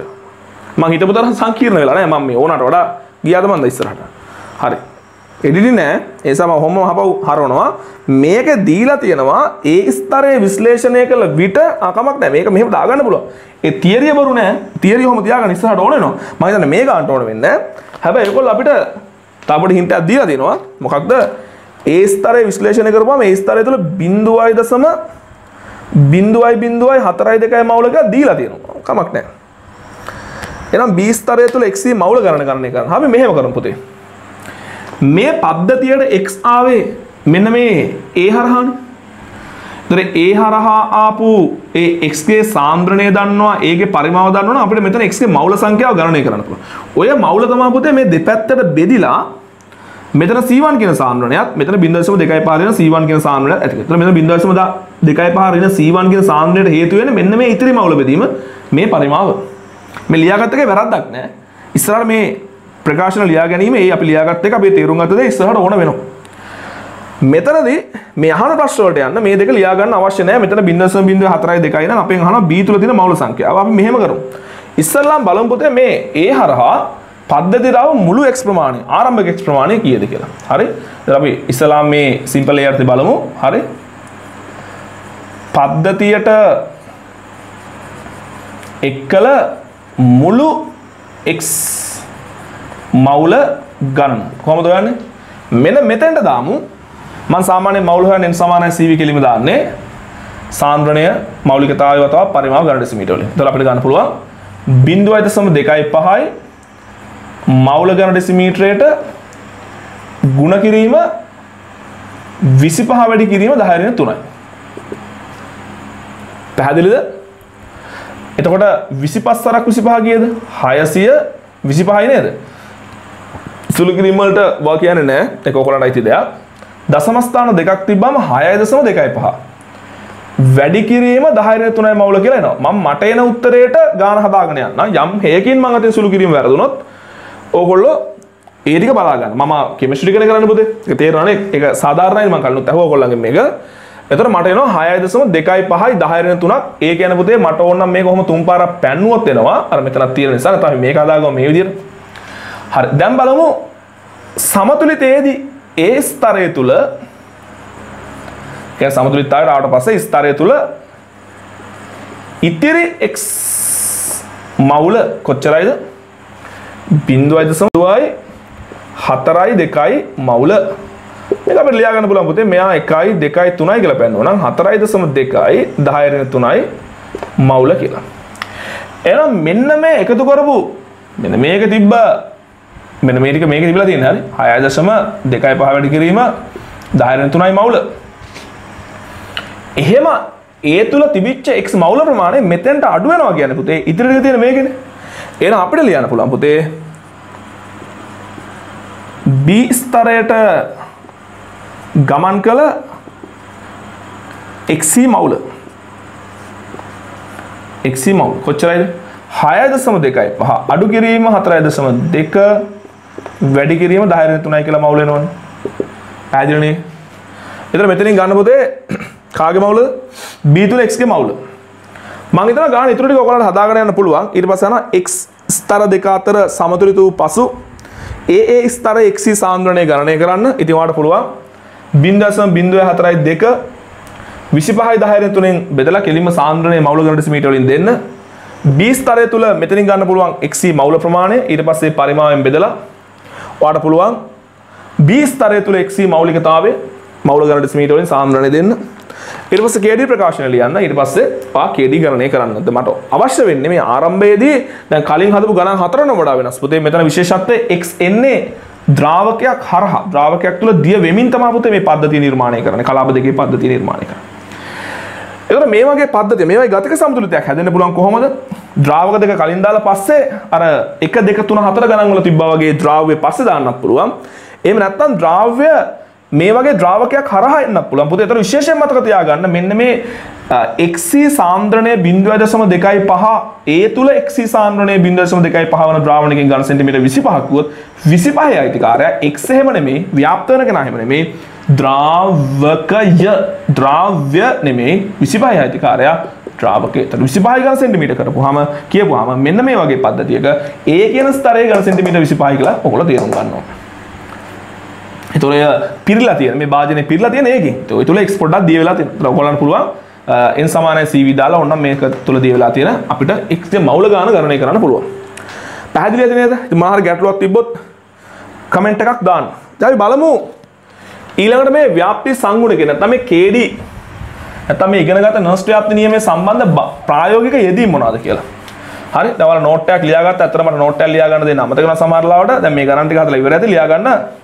ද්‍රාවක නිස්සාරණය නැත්තම් හරි ව්‍යාප්ති සංගුණක සම්බන්ධ ප්‍රායෝගික යෙදීම් හරි ඒ අර්ථ ලියාගන්න අපි මෙතන කතා කරන මාතෘකාව තමා ද්‍රාවක නිස්සාරණය. එතන ඕන ඇලිරක් ගහ ලියාගන්න ශ්‍රේණිගත නිස්සාරණය. ශ්‍රේණිගත නිස්සාරණය. මොකක්ද ශ්‍රේණිගත නිස්සාරණය. දැන් ඕනම නෝට් එකක් නොදුන්නත් ඔයාලා මේ සටහන දාගන්න. දැන් මේ සම්බන්ධව නම් අපේ විද්‍යාගාරයේ මාර විදියට අත්දැකීම් තියෙනවා. මොකද අපි විද්‍යාගාරයේ නිතරම නිතරම කියන්නේ ගොඩක් වෙලාවට මේක කරන දෙයක්. දැන් පුතේ ඔය ද්‍රාවක නිස්සාරණය ඊළඟට ඒක ශ්‍රේණිගත නිස්සාරණය කියන මාතෘකාව කියන මාතෘකා දෙක මම කියලා දෙන්නම්. දැන් ඔයා හිතන්න මෙන්න මෙහෙම. දැන් අපි ඔය සමහර වෙලාවට පුතේ කාබනික රසායනය සම්බන්ධ පරීක්ෂණ එහෙම කරනකොට ඔන්න දැන් හිතන්න පුතේ ජලීය මාධ්‍යයේ මං X කියලා කාබනික සංයෝගයක් නැත්නම් යම් සංයෝගයක් හදා ගන්නවා. මේ තියෙන X එක්වස්. හරිද? ජලය X කියන කෙනා ඔන්න දැන් හැදිලා තියෙනවා. මොකක් හරි ප්‍රතික්‍රියාවකින් පස්සේ හැදිලා තියෙනවා. දැන් මට ඕන අපි මෙහෙම හිතමු පුතේ. හරි? මේ X හැදෙන්නේ A සහ B කියන දෙන ප්‍රතික්‍රියා කරලා. හැබැයි මේ ප්‍රතික්‍රියාවදි මම හොයාගන්නවා මේ ප්‍රතික්‍රියාව අවසන් වෙද්දී මේ AB කියන දෙන්නම් පුතේ අවසන් වෙලා X නිර්මාණය වෙන්නේ නැහැ. මේක AB ඉතුරුලා කියන ගතික සමතුලිතතාවයට ඇවිල්ලා තියෙනවා. එහෙම හිතන්නකො නැත්නම් දාපු එක්කෙනෙක් ඉවරලා මේකේ දැන් ඔන්න දැම්මයි X හැදුනා. අවසානට මේ පද්ධතිය ඔයාලට හිතන්න පුළුවන් එක්කෝ AB ඉද්දිම X හැදලා තියෙනවා නැත්නම් A ඉතුරු වෙලා X උත් ඉන්නවා දැන්. එහෙම නැත්නම් ඔයා හිතන්න ඒත් ඉවර වෙලා පිටුම x දාන y y කියලා තව අතුරු ඵලයක් හැදිලා තියෙනවා. කියපු දේ තේරුණාද? දැන් මට මෙතනදී ඕන පුතේ මේ y ගෙන් ප්‍රධාන ඵලය වන x වෙන් කරගන්න මම හොයාගන්න මෙන්න මෙහෙම කාරණයක්. මේ y කියන කෙනා ක්ලෝරෝෆෝම් වල දිය වෙන්නේ නැහැ. CHCl3 වල දිය වෙන්නේ නැහැ. එහෙම නැත්නම් CCl4 කියන නිර්ද්‍රව්‍ය ද්‍රාවකයේ දිය වෙන්නේ නැහැ කවුද y. හැබැයි x කියන කෙනා ජලයේ දිය වෙනවට වඩා පට්ට කැමති මාර කැමති ක්ලෝරෝෆෝම් තුල හරි CCl4 වල හරි නැත්නම් බෙන්සීන් හරි මොකක් හරි වෙනත් ද්‍රාවකයක් තුල දිය වෙන්න. මොකද්ද? මම හොයාගන්නවා අපි ගමුකෝ CCl4 කියලා. CCl4 හරි. මම හොයාගන්න CCl4 කියන ද්‍රාවකය තුල XC ද්‍රාව්‍යතාවය ඉහළයි. XC ද්‍රාව්‍යතාවය ඉහළයි. හැබැයි y දිය නොවේ කියලා. නෝට් එක මෙහෙම දාන්න ප්‍රශ්න නැහැ. මම කියනවා ලියන්න. දිය නොවේ. මට ඕන මොකක්ද? මේ ජලීය ද්‍රාවණයෙන් y ඉතුරු කරලා x විතරක් වෙන් කරගන්න. තර CCl4 තුල x ද්‍රාව්‍යතාවය ඉහළයි නම් සහ මම මේකට CCl4 දැම්මොත් මොකද වෙන්නේ? CCl4 දැම්මොත් මොකද වෙන්නේ? මට හම්බ වෙනවා මෙන්න මේ වගේ පද්ධතියක්. මට හම්බ වෙනවා මෙන්න මේ වගේ පද්ධතියක්. මම මෙතනින් බදින්න. CCl4 ඝනත්වයෙන් වැඩි නිසා CCl4 යට ජලය උඩ හරි මේ කොරෝනා වලින් පස්සේ කෙමිස්ට්‍රි තමත කියලා පොඩ්ඩක් ඔය බලන්න CCl4 යට හරි එතකොට දැන් y ජලය තුළ ඉන්නවා. එයා කැමති නැහැ CCl4 දිය වෙන්න. දැන් අපි මේ ඉගෙන ගත්ත කාරණාවල හැටියට ඔයගොල්ලෝ දන්නවා x කියන කෙනා අනිවාර්යයෙන්ම එහෙනම් ජලය දිය වෙනවා CCl4 තුළ වඩාත් හොඳින් දිය වෙනවා. නම් ජලයේ තියෙන x වලින් කොටසක් අනිවාර්යයෙන්ම CCl4ට එනවා විතරක් නෙවෙයි මෙතනදී පුතේ ගතික සමතුලිතතාවයකුත් හදා ගන්නවා මෙයා. එහෙනම් x මොකද්ද කරන්නේ මේ? ඔන්න ගතික සමතුලිතතාවය හදා ගන්නවා. ජලයට වඩා හිතන්නකෝ CCl4 x ද්‍රාව්‍යතාවය වැඩි කියලා පුතේ. එතකොට අනිවාර්යයෙන්ම වැඩි x ප්‍රමාණයක් CCl4 තුළට එනවා. හරිද? සා වැඩි ප්‍රමාණක මෙතන මේ CCl4 දෙන සම පරිමා හෝ CCl4 වැඩියෙන් හෝ අඩුවෙන් මිශ්‍ර කරලා ඇති. ඒ අඩුවෙන් මිශ්‍ර කරොත් පොඩක් එක් වැඩිපුර එනවාද කියන කාරණය අපි හිතනකො සම පරිමාවිශ්ට කරා කියලා එතර ජලයට වඩාපුතේ CCL4 තුළ එක්සි ද්‍රාවතාවේ ඉහලයි නම් අපි සම පරිමාමිශ්‍ර කරපු ලාව අනිවාර්යයෙන්ම ජලයේ තියෙන x වලට වඩා CCL4 තුළ තියෙන x වැඩි වෙනවා. දැන් ඉතින් මොකද අපිට කරන්න දෙන්නේ? දැන් අපිට තියෙන්නේ යට ස්තරය වෙන් කරලා ගන්න අර බේරන පුනිලයට දැම්මම ලස්සනට ඕකේ අර යට ස්තරය විතරක් වෙන් කරලා ගන්න පුළුවන්. ඒතර යට ස්තරය කවුද ඉන්නේ? CCL4 CCL4 වල ඉන්න කවුද? x විතරයි. CCL4 වාෂ්පශීලී අපිට තියෙන CCL4 ටික වාෂ්ප කරලා යවන්න අපි තුමු x වාෂ්පශීලී සංයෝගයක් කියලා. ඒ කියන්නේ තෙල් වගේ දෙයක් කියලා. CCL පොටික වාශ්ප කරලා යව X අපි වෙන් කරගත්තා. තේරුණා නේද? ඉතින් ඒක අපිට මෙන්න ප්‍රායෝගික භාවිතයක් විදිහට ප්‍රායෝගික භාවිතයක් විදිහට යොදන්න පුළුවන්. ද්‍රාවක නිස්සාරණය. ද්‍රාවක CCL පො දාලා ජලයේ තිබ්බ ඒ X නිස්සාරණය කරලා ගන්නවා CCL පො ස්තරය ඇතුළට පස්සේ CCL පො ටික එලවලා දානවා. X ඉතුරු කරගන්න. පැහැදිලි නේද? එතන මොකද්ද මේ ශ්‍රේණිගත නිස්සාරණය? ශ්‍රේණිගත නිස්සාරණය. එහෙනම් මොකද්ද මේ මෙතනදී අපි කරේ මෙතනදී අපි කරේ එක් ද්‍රාවකයක දිය වෙලා තියෙන ද්‍රාව්‍යයක් හරි වෙනත් ද්‍රාවකයක් තුලට වෙන් කරගත්තා ලබා ගත්තා වෙන් කරගත්තා ඊට පස්සේ ඒ දෙවන ද්‍රාවකය එලවලා දාලා අපි අර ද්‍රාව්‍ය අපේ ප්‍රයෝජනය සඳහා භාවිත කරනවා. ඒතර මම මේක තව ටිකක් රූප සටහන් වලින් අදින්නම්. ඒතර අපි මේකෙන් මොකද කරන්නේ? මේකෙන් CCl4 ස්තරය X සහිත CCl4 ස්තරය වෙන් කරගන්නවා. X සහිත CCl4 ස්තරය වෙන් කරගන්නවා. ඊට පස්සේ ඔන්න වගේ භාජනයකට දැම්ම අපි. මොනවද? CCl4ත් එක්ක x x in CCl4 පස්සේ මේක පොඩක් උණුසුම් කරලා CCl4 ටික මොනා කරලා දානවා. වාෂ්ප කරලා දානවා. X ඉතුරු වෙනවා. X ඉතුරු වෙනවා. පැහැදිලිනේ? එතන මොකද මේ ශ්‍රේණිගත නිස්සාරණය කියලා කියන්නේ? ශ්‍රේණිගත නිස්සාරණය කියලා කියන්නේ මෙන්න මේ වගේ දෙයක්. දැන් ඔයාලට පේනවද පුතේ මේ CCl වල කොච්චර x ගේ ද්‍රාව්‍යතාවය වැඩි වුණත් යම් ප්‍රමාණයක් කවුරු තුල ඉතුරු වෙනවද? ජලය තුළ ඉතුරු වෙනවා. අපිට 100%ක් ජලය හැදිච්ච මේ x 100%ක් අපිට CCl4 තුලට වෙන් කරගන්න බෑ. එතකොට අපිට පුළුවන් පුතේ මේ ජලයේ ඉතිරි වෙලා තියෙන x ටික නැවත වෙන් කර ගැනීමක් කරන්න. ඒක ඊට වඩා හොඳ උදාහරණකින් මම පැහැදිලි කරන්නම්. දැන් ඔයාලා හිතන්න අනුරාධපුරයේ පැත්තේ අපි හොයාගන්නවා ජලයේ දිය වෙලා තියෙන කෘමිනාශකයක්. දැන් මට ඕන ජලයේ ඝන ඩෙසිමීටර් එකක දිය වෙලා තියෙන කෘමිනාශක සම්පූර්ණ ප්‍රමාණය ගණනය කරන්න. ඒ කියන්නේ ජලයේ ඝන ඩෙසිමීටරයක් ගත්තොත් කොච්චර කෘමිනාශක ප්‍රමාණයක් දීවලා තියෙනවා. දැන් ජලයෙන් මට ওই කෘමිනාශක වෙන් කර ගැනීමේ හැකියාවක් නැහැ. අපි දුම මේ කෘමිනාශක අවාශ්මශීලී කියලා. හැබැයි ජලය රත් කරලා ජලයේ වාශ්මශීලීත්වය අඩු වෙන පුතේ. හරි? එහම ජලය කියන්නේ ඉක්මනට වාෂ්ප වෙන කෙනෙක් නෙමෙයිනේ. ඒතර ආ හිතන්න මොකක් හරි ප්‍රායෝගික ගැටලුවක් තියෙනවා ජලයේ දිය වෙලා තියෙනකම් මේ කෘමිනාශකේ ජලය වෙන් කරගන්න බෑ. හරිද? එක්කෝ මේක ජලය ටික වාෂ්ප කරලා යවන්න ලොකු වෙලාවක් යනවා.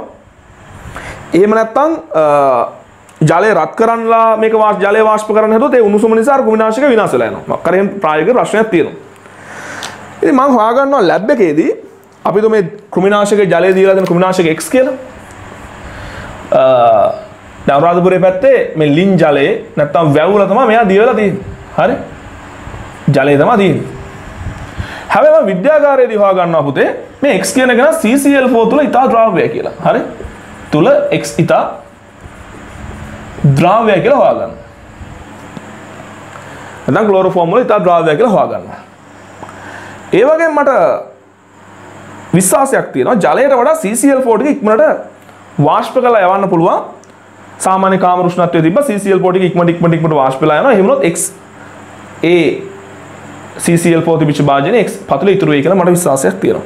සාමාන්‍ය එක පොඩ්ඩක් ඕනනම් එක් කියන කුමනාශකය විද්‍යාගාරයේ සපයක විද්‍යාගාරය සපයකම විද්‍යාගාරතර පොඩ්ඩ ප්‍රායෝගික විද්‍යාගාර මට්ටමේ පරීක්ෂණයක් කරලා බලනවා එක් වතුර දිය කරලා. අර කිව්වා වගේ CCl පොට නිස්සාරණය කරගෙන මම බලනවා වතුරේ තියෙන වතුර ටික වාෂ්ප කරලා එක්ස වෙන් කරගන්නවට වඩා මේ CCl පොට නිස්සාරණය කරගෙන CCl පොට ටික ඉක්මනට වාෂ්ප කරලා මට එක්ස වෙන් කර ගැනීමේ හැකියාවක් තියෙනවා. ඒ අනුව මම මෙන්න මෙහෙම පරීක්ෂණය සැලසුම් කරනවා. මෙන්න මේ විදිහට. දැන් මෙතන ප්‍රශ්න තියෙන පුතේ මට අර ජලය ඩෙසිමීටර් එකක තියෙන මුළු මුළු x ප්‍රමාණයම වෙන් කර ගැනීමේ අවශ්‍යතාවයක් තියෙනවා. එහෙනම් ඔන්න බලන්න. ඔන්න මම ගන්නවා පුතේ ජලය ගන්න ඩෙසිමීටර් එකක් ගන්නවා. හිතන්න ඩෙසිමීටර් එකක් ඩෙසිමීටර් එකක් දැනට හරි x ඉන්න ජලය මම ගන්න ඩෙසිමීටර් එකක් ගත්තා කියලා හිතන්නකෝ. මම මොකද කරන්නේ? මම මේකට දානවා පුතේ CCl4. හරි CCl4 දානවා. දාලා මේකට ගතික සමතුලිතයට එන දෙනා මේක පුතේ නිකන් සෞෘත බඳුනක් කියලා හිතන්න. එතකොට මට එනවා මෙන්න මේ වගේ පද්ධතියක්. ඔන්න එකපාරෙන් ඔලුවට දාගන්න ඕන. හරි? මොකද්ද මේ කරන්න යන්නේ කියලා? දැන් මොකද්ද වෙන්නේ? CCl4 හරි? ජලය. අපි හිතමුකෝ x ගේ n1 ප්‍රමාණයක් තිබ්බා කියලා මේ ඩෙසිමීටර් එක ඇතුලේ. දැන් මට මේ x ජලය තුලද ජලය තුලදී x ගේ ප්‍රමාණය ගණනය කරගන්න බැරුව තියෙනවා දැන් මම හදන්නේ x වෙනස් ස්තරයකට ගන්න. ඒ ස්තරයට ගත්තට පස්සේ ස්තරය නැත්තම් ද්‍රව්‍යකය එලවලා දාලා මම x තනි කරගන්න හදන්නේ. හරි? දැන් x CCl4 තුල ඉතා ද්‍රාව්‍ය නිසා මේ ජලයේ තියෙන CCl4 වැඩි ප්‍රමාණයක් අපි හිතමු. CCl4ත් අපි ඩෙසිමීටර් එකක්ම දැම්ම කියලා හිතන්න පුළුවන්.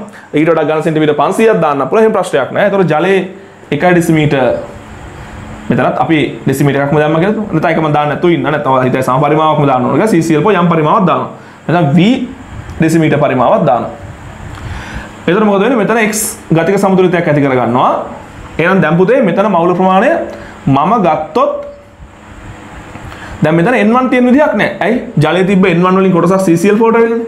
මෙතන මම ගත්තොත් මෙතන n 1 ඩෑෂ් කියලා මේ සංකේත ගැලපෙයිද දන්නේ නැහැ කොච්චර දුරට අපි බලමු මෙතන n2 මවුල වලට යනවා. හැබැයි මතක තියාගන්න පුතේ n2 කියන කෙනා කුඩයි n1. ඇයි ඒ?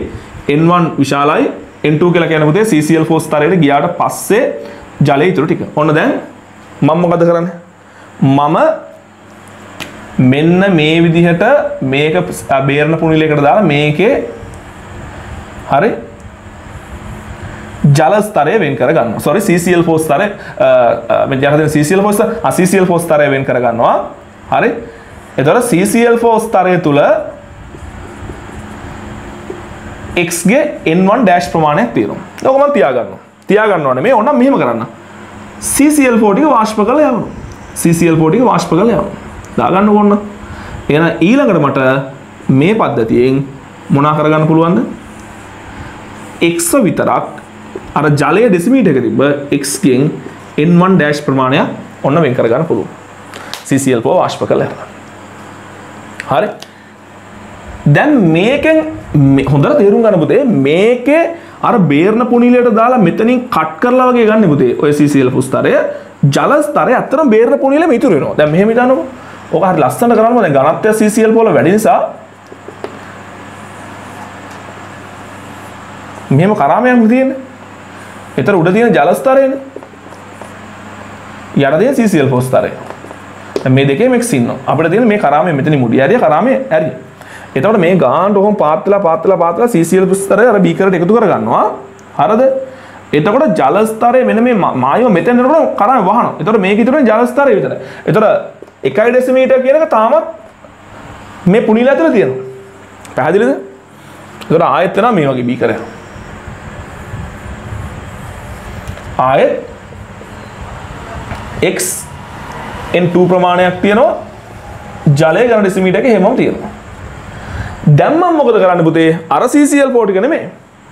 අලුත් CCl4 ප්‍රමාණයක් සාමාන්‍ය මේකදී පුතේ අපි ආරම්භක දැන් මෙතන භාවිතා කරේ VDCමීට නම් ආයෙත් භාවිතා කරන VDCමීට ගණන් එන්නේ එහෙමයි මේකට ආයෙත් දානවා පුතේ අලුත් CCl4 VDCමීට ප්‍රමාණය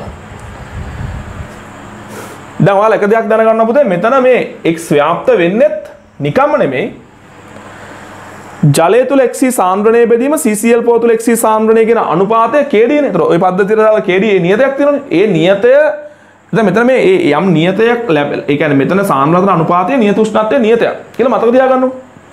එතකොට දැන් මෙතන CCl4 දැම්මට පස්සේ මොකද වෙන්නේ? පද්ධතිය නැවත මෙන්න මේ වගේ ගතික සමතුලිතයකට එනවා.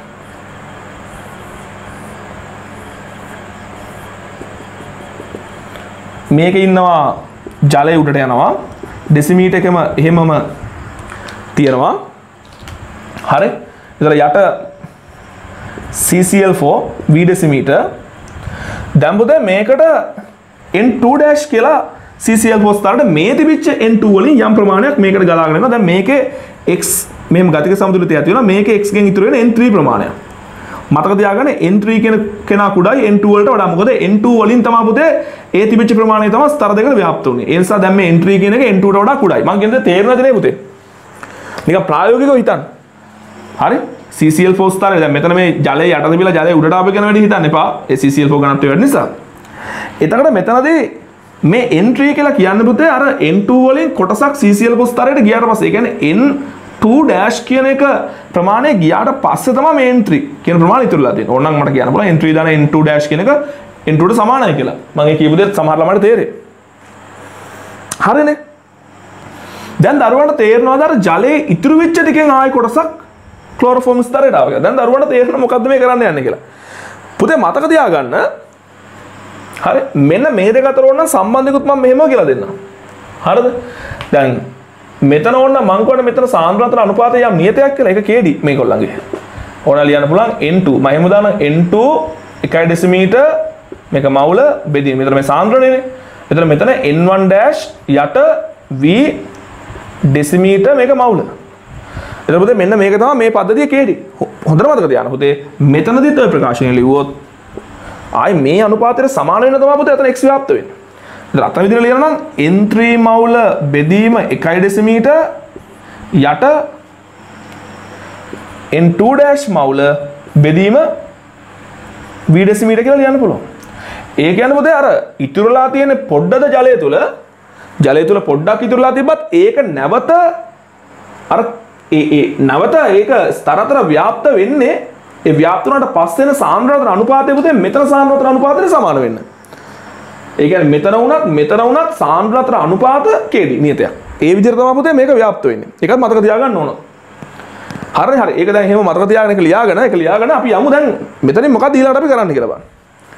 මෙතනදී අපි කරන්නේ මේක ලියාගන්න පුතේ. හරි ඒ නිසා මේ වගේ පද්ධති වලට මේක ඇප්ලයි කරන්න පුළුවන් කියලා මතක තියාගන්න. හරි? ආයි මම ලියන්න දෙන්න නෝට් එකක්. දැන් මම මෙතනදී කරන්නේ අර වගේම CCL පොස්තරේ ෂේප් එකේ වෙන් කරගන්නවා. හරිද? දැන් CCL4 වල x ඉන්නවා n2 dash ප්‍රමාණය මම මොකද කරන්නේ CCL4 ටික වාෂ්ප කරනවා. හරි CCL4 ටික වාෂ්ප කරලා හරි මම එතනින් හදා ගන්නවා ඒක තිබිච්ච x ටික මොකක් හරි භාජනයකට ගන්න. එතන x ගෙන් n2 dash ප්‍රමාණය. දැන් එහෙනම් ඔන්න බලන්න පුතේ පළවෙනි දැන් මෙතන අපි කියනවා පුතේ නිස්සාරණ වාර දෙකයි කියලා. මේක මේක නිස්සාරණ වාරයකින් x x ගෙන් n1 dash හම්බුණා මේ දෙවන නිස්සාරණ වාරයෙන් n2 dash හම්බුණා. එහෙනම් මේ දෙක එකට එකතු කරොත් පුතේ අපිට තේරෙනවද පළවෙනි නිස්සාරණයට මේ දෙක එකතු වුණාම දැන් අපිට ඒක තේරුම් යනවා නිස්සාරණය කරන වාර ගාන වැඩි වෙන්න වැඩි වෙන්න අපිට x අර ජලයේ තියෙන x ටික ටික ටික ටික ටික ටික මොනවා කරන්න පුළුවන්ද? තව එළියට අද ගන්න පුළුවන්. දැන් එතකොට මේකෙන් අපිට ජල ස්තරය ආයෙ ගන්න පුළුවන්. මේ අර මේ වැඩේම කරලා ජල ස්තරය ආයෙ ගන්න පුළුවන්. ඇති කියලා හිතනවා නම් ඔතනින් නවත්තනවා. හරි එහෙම නැත්නම් අපිට තව ඉතින් මෙතන ආයෙ පොඩ්ඩක් හරි පුතේ ඉතුරු වෙනවනේ. ඔන්න දැන් ආයෙ ජල ස්තරය එනවා. ඒක නාස්ති වෙන්නේ නැහැ. එනිසා ඒක ඩෙසිමීටර් එක හැමෝම තියෙනවා. දැන් ඒක x කොච්චරක් තියෙනවද? n3 තියෙනවා. දැන් මොකද කරන්නේ? ආයෙ අලුතෙන් CCl පො ගෙනත් දාන්න. මේක CCl පො ඉතින් යනවා. v ඩෙසිමීටර් දාන්න. හරි? හරි. ඔය ලියා ගන්න.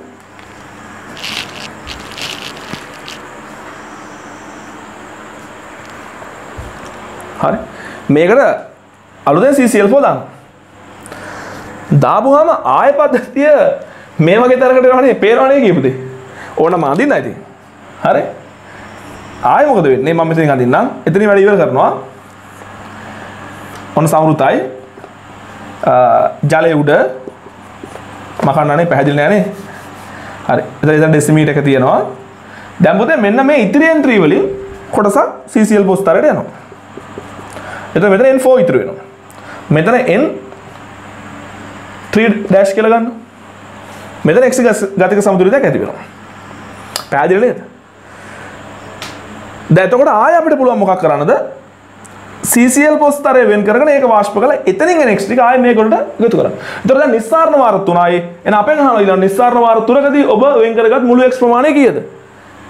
n1 ඩෑෂ් ධන n2 ඩෑෂ් ධන n3 ඩෑෂ් ඒත් පුතේ ඉතාසුළු ප්‍රමාණයක් කර ජලය තුළ ඉතිරි වෙනවා. නමුත් ඒ අපි භාවිතා කරන ඒ ද්‍රාවකය සහ ඒ ජලය අතර මේ KD-ගේ අගය මත ඒක නිස්සාරණ වාර දෙකකදී තුනකදී හතරකදී උතේ 100%ක්ම වගේ නැත්නම් 99ක් 99.9ක් වගේ අපිට පුළුවන් CCl4 වලට ඇදලා ගන්න. ඒක තීරණය වෙන්නේ පුතේ ඔතන අපි ගණන් හදලා තේරෙයි.